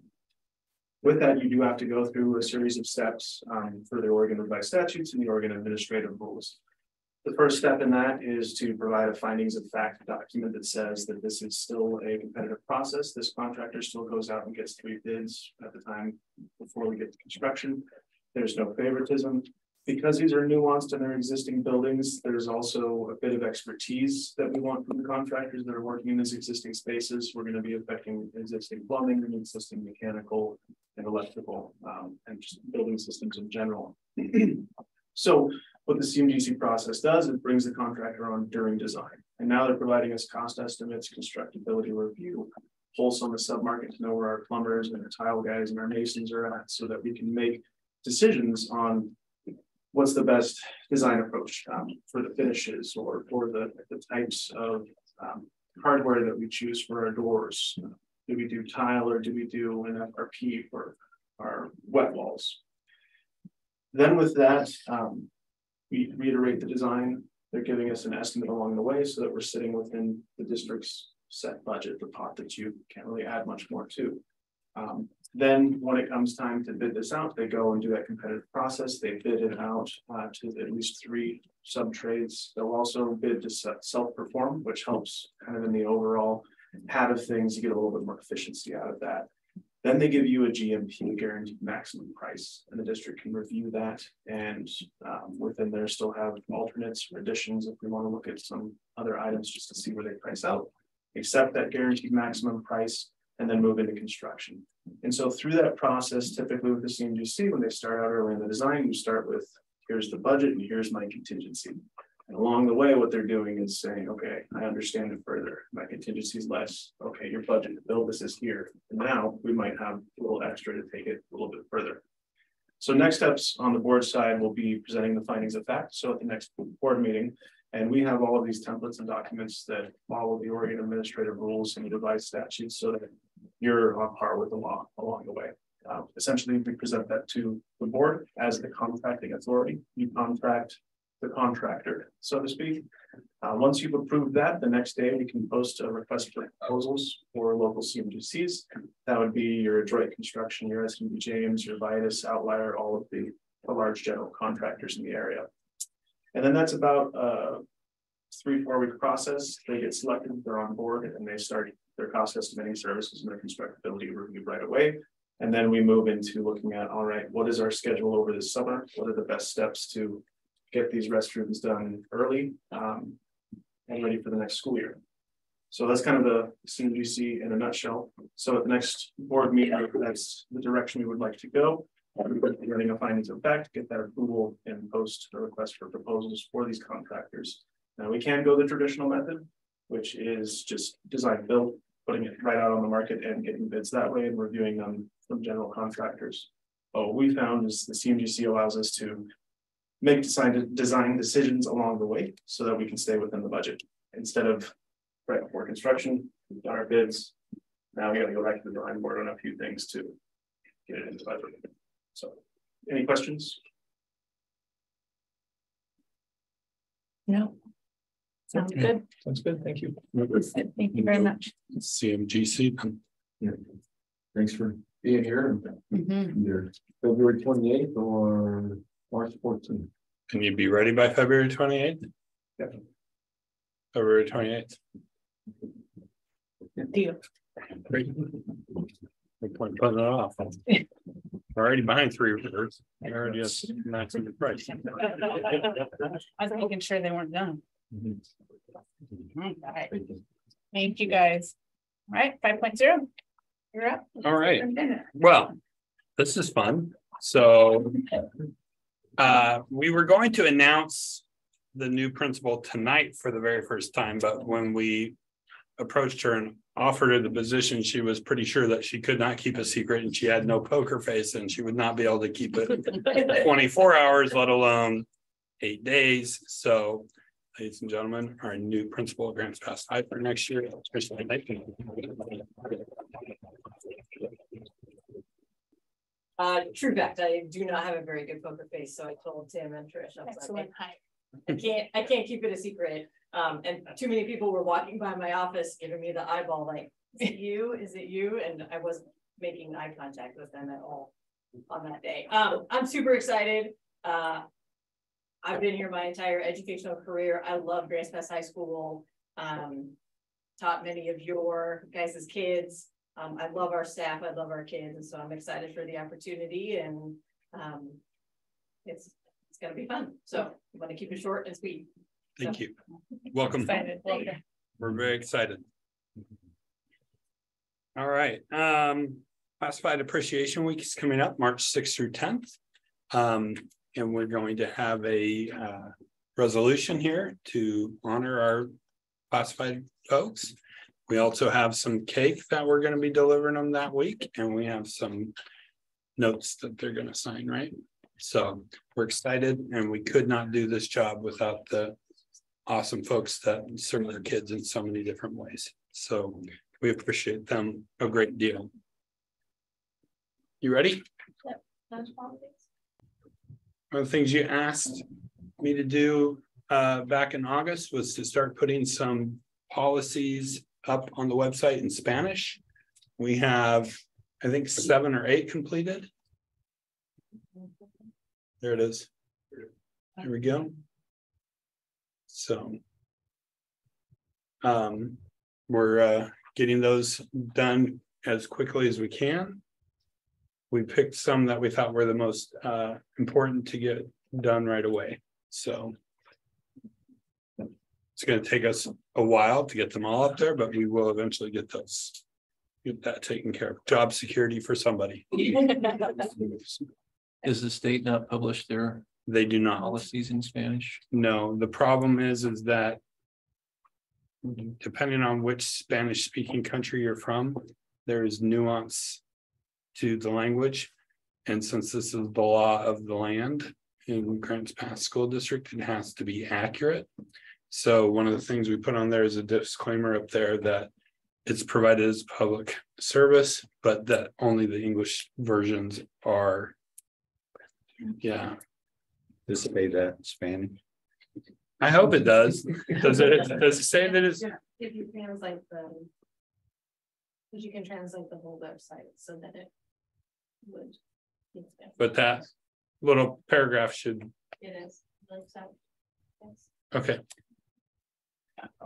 So a little clarification. select board policies are provided in Spanish as public service, not legally binding, should be in Spanish also. So. I'm just not seeing it. If you, if you tran, if you chose, if you choose the Spanish. There it is. medicine. There you There you go. go. Thank you. All right, a little clarification. Scott mentioned the state policies, but there are no state policies. Right. We, we, we contract with OSBA. Correct. To give us potential policies for adoption. Correct. Okay. So I misspoke, but I would think that OSBA, given the current climate, would be helpful in providing us And with we've Spanish. templates. Found them to be less than helpful in this regard. We have contacted them on numerous occasions. I've actually called Jim Green and he told me he'd get back to me. I called him back and said, you didn't get back to me. He said he'd get back to me, so. Um, We did it ourselves. we did it ourselves, yes. Um. Can you go to the next one? That's what- And we put some resources for board members on the website. Just so that they have a place to go, board roles, board chairs. So helpful. Superintendent, About time. We didn't know what to do. there you go. Communication, board meetings, keep scrolling down a little bit. There you go. Those So- are all links. So those are links, yeah. So- really struggle with that collaborating part. Few other things that I want to share with the board tonight real quick. Um. uh, You're gonna have a vote tonight on whether or not to extend an invitation to Newbridge School. uh, To D seven for next year. Didn't know if you had any questions you wanted to ask before we got to that point. Okay. GP Flex moving across the street here on uh Dean Street. Um, and we have been putting together an advertising campaign, and I say we and the Royal Sons, right? That's not really me. Uh, um, Keith and Kristen have been starting that work. Um, so we're gonna be doing that pretty quickly. We've also started to send any parent who's asked for an interdistrict transfer out of the district, they have to talk to Keith first. So. Yeah, if they want to go to, I don't know, what was the one from yesterday or two days ago? It was one going, one going Baker Web. and- Baker Web, and so, yeah, in order for me to sign that, they have to talk to Keith first, and Keith gets a chance to sell on GP Flex before they leave the district. So, um. Couple legislative updates that I thought would be important for you to hear about. The big one would be Senate Bill eight nineteen, which is the partial day schedule for students on an IEP. That law is going to change, all indications are before spring break and take effect over spring break. Which basically says that if a parent wants a student who's on a partial day school stu- schedule. That if they want them to go to full day, we have to honor that. Regardless of the impact on the district in any way, shape or form, whether we have the staff to do that, whether we have the space, it will be irrelevant. Once the parent says they want a full day schedule, we have five days to accommodate that. We've asked for the law to at least be starting for next school year, and we were told emphatically, no. That it's going to start at spring break. How far along in that? They, they vote on it tomorrow. And every expectation is the gut, it will pass both chambers and the governor will sign it. We know how many students that could potentially be in our district. Thirty-five. We don't believe all thirty-five will ask for a full day schedule, but that's currently where we're at. Um. So. One of the things we've talked about was there should be a funding mechanism for this.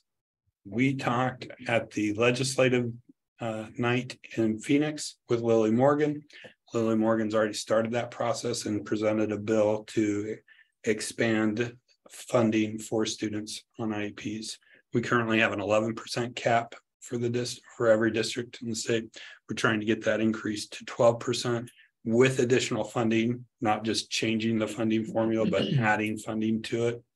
Um, the D seven share of that would be about a million dollars. So Lily's already started that process and is working with Senator Gelser, who's leading the charge on all of this to get more funding for K twelve, uh, special education in K twelve.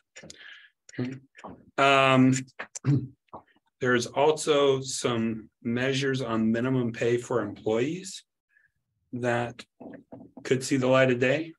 The starting teacher salary would be a minimum of sixty thousand dollars. Currently, a starting teacher in Grants Pass makes 48, 48. But we saw in Baker School District today that their starting teachers make thirty-eight, so. That would be a fifty-six percent increase, pay increase for. uh, First-time teachers, first-year teachers. Uh, also changes to how classified staff are paid. That's on the docket as well. We think both of those are um. Have a real shot of passing. At the state level and being signed into law. Summer school funding does not look very hopeful. This year, they've given, so far, the governor's budget has twenty million dollars in summer school funding. Which is only for K five literacy, not for any enrichment and not for any credit recovery or retrieval at the high school level. Um, no enrichment at the secondary level. Um, we're concerned about that and we're working on that. But we're really flying solo on that because COSA, who usually does this work with us, has decided that it's not an important enough battle for them to take on that overall getting the state school fund up where we need it is more important than the summer school aspect. And there's only so many, so many fights they can fight. And they're not going to take summer school on. So I've been reaching out to Lily Morgan and see what we can do with that. We'll see what she can do. Um, operations managers, manager position, we did interviews, three of them today. We have one more tomorrow. We plan to make a decision here pretty quickly on that, and you should be receiving information from me by the end of the week on who would be selected. Um. Let's see, after school supper program has started. At Gladiola, correct? And has it been at any of the elementaries yet? Not yet, okay. So it's one of the reasons we did the slow rollout is because we wanted to be done well. And the first week wasn't so great.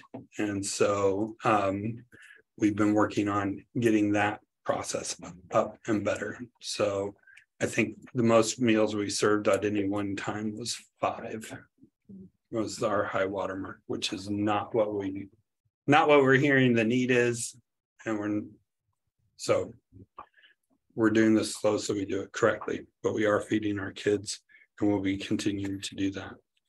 Those are things going on and lots of other things going on. Of course, we had negotiations with both unions happening, things like that, but those are highlights for tonight. Any questions?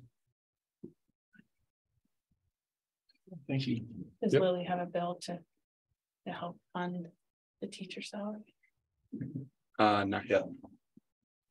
I will talk to her. But she was really quite impressed with you folks and really took to heart the message that you gave her and took that back to Salem. She was very appreciative. So So I was gonna make some comments about the New Bridge School, so I don't know if we do that after the motion or? You just say I do it now. Go ahead. Board reports and special concerns now, so it's the perfect time. Yeah. So I um did do a tour at Newbridge High School. And I'd have to say initially, I was a little concerned that it um Newbridge High School is outside the mission really of District Seven and it would it's not part of your mission, you shouldn't really do it, but after going there and uh talking with the staff and principal. Principal Regal from Newbridge. At the um New Bridge. The students there. Um, I think it was told forty-five percent or so of them are Josephine Jackson. County kids. Um, the remainder are from elsewhere. And that those students um. Oftentimes tend to stay in our community after their time there. Also, the students that are there are students that have um, a lot of the ACEs that uh, the Project Youth Plus groups deal with. So it started to feel more like they were kids here in District Seven that we should also be serving. Um, it also looked like there was significant opportunity for District Seven to actually help with the education of the students there at the high school. Some of that can't happen immediately, but in future years and future versions of GP Flex, um, there would be opportunities for some of those students to participate in some of the educational opportunities we have here in District Seven. So I guess by the end of the time, um, I decided it was our mission and uh, just wanted to say I was going to support um, us supporting New Bridge High School here in District Seven. So Thank you. Excellent, thank you. Any other board reports, special concerns? All right, moving on to action items. Seven point one, second and final reading of updated policies and ARs. I Want to take them individually?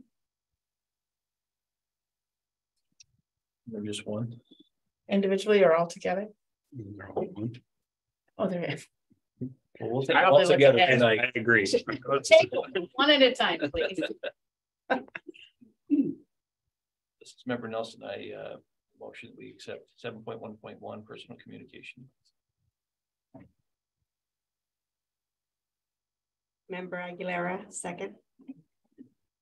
Okay. Having a second, is there any discussion? Hey, member Nelson, Yes. member Aguilera. Yes. Member Richardson, yes, member Coleman. Yes. Member Wilson. Yes. Okay, seven point two, approved Newbridge School, or invite Newbridge Yes. School. Right, it is an invitation. Still some paperwork to get done before it would actually happen. Uh, this is member Nelson. I wholeheartedly make a motion to extend an invitation to Newbridge School to join Grants Pass District Seven. Member Aguilera, second. Having a second, is there any discussion? Hearing none, Member Nelson, Yes. member Aguilera, Yes. member Richardson, yes, member Coleman, Yes. member Wilson. yes. All Right, seven point four, approve moving GP Flex to Dean. We forgot seven. No, seven point three. Someone already needs to be local service plan. We passed it on time. Seven point three. So ESD local service plan. There's no changes to it. It's the same one you've seen many years around. Uh, member Nelson, motion to approve seven point three. Member Aguilera, second. Washman's reading.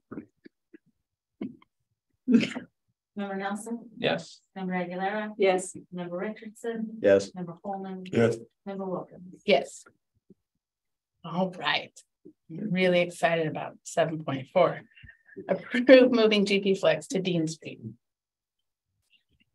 Member Nelson moves to approve seven point four. I'll bet member Aguilera. Yeah. Give it a second. Having a second, is there any discussion? Tanya, Member Nelson. Yes. Member Aguilera. Yes. Member Richardson. Yes. Member Coleman. Yes. Member Wilkins. Yes. Uh, seven point five, approval of resolution. Um, for employee classified appreciation week. Uh, member Nelson, so moved to approve seven point five. Member Aguilera, second. Having a second, is there any discussion? I think it's a very good idea. Excellent, thank you for mixing it up. Tanya? Member Nelson. Yes. Member Aguilera. Yes. Member Richardson. Yes. Member Coleman. Yes. Member Wilkins. Yes. Seven point six, approval of advanced medical skills.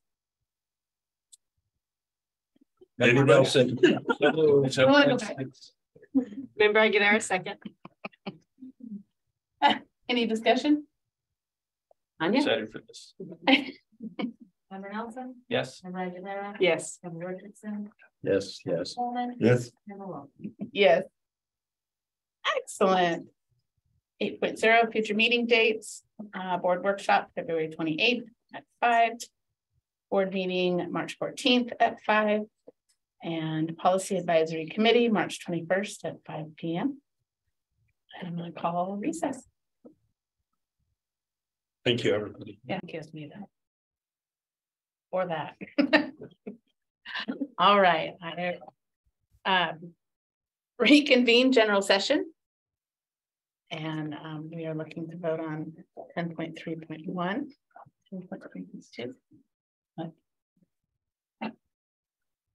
Anybody? For the motion machine down here. Oh, no, I'm gonna pass the baton with the rose over to Please, Gary. Gary, go ahead anybody. and make the motion. Somebody.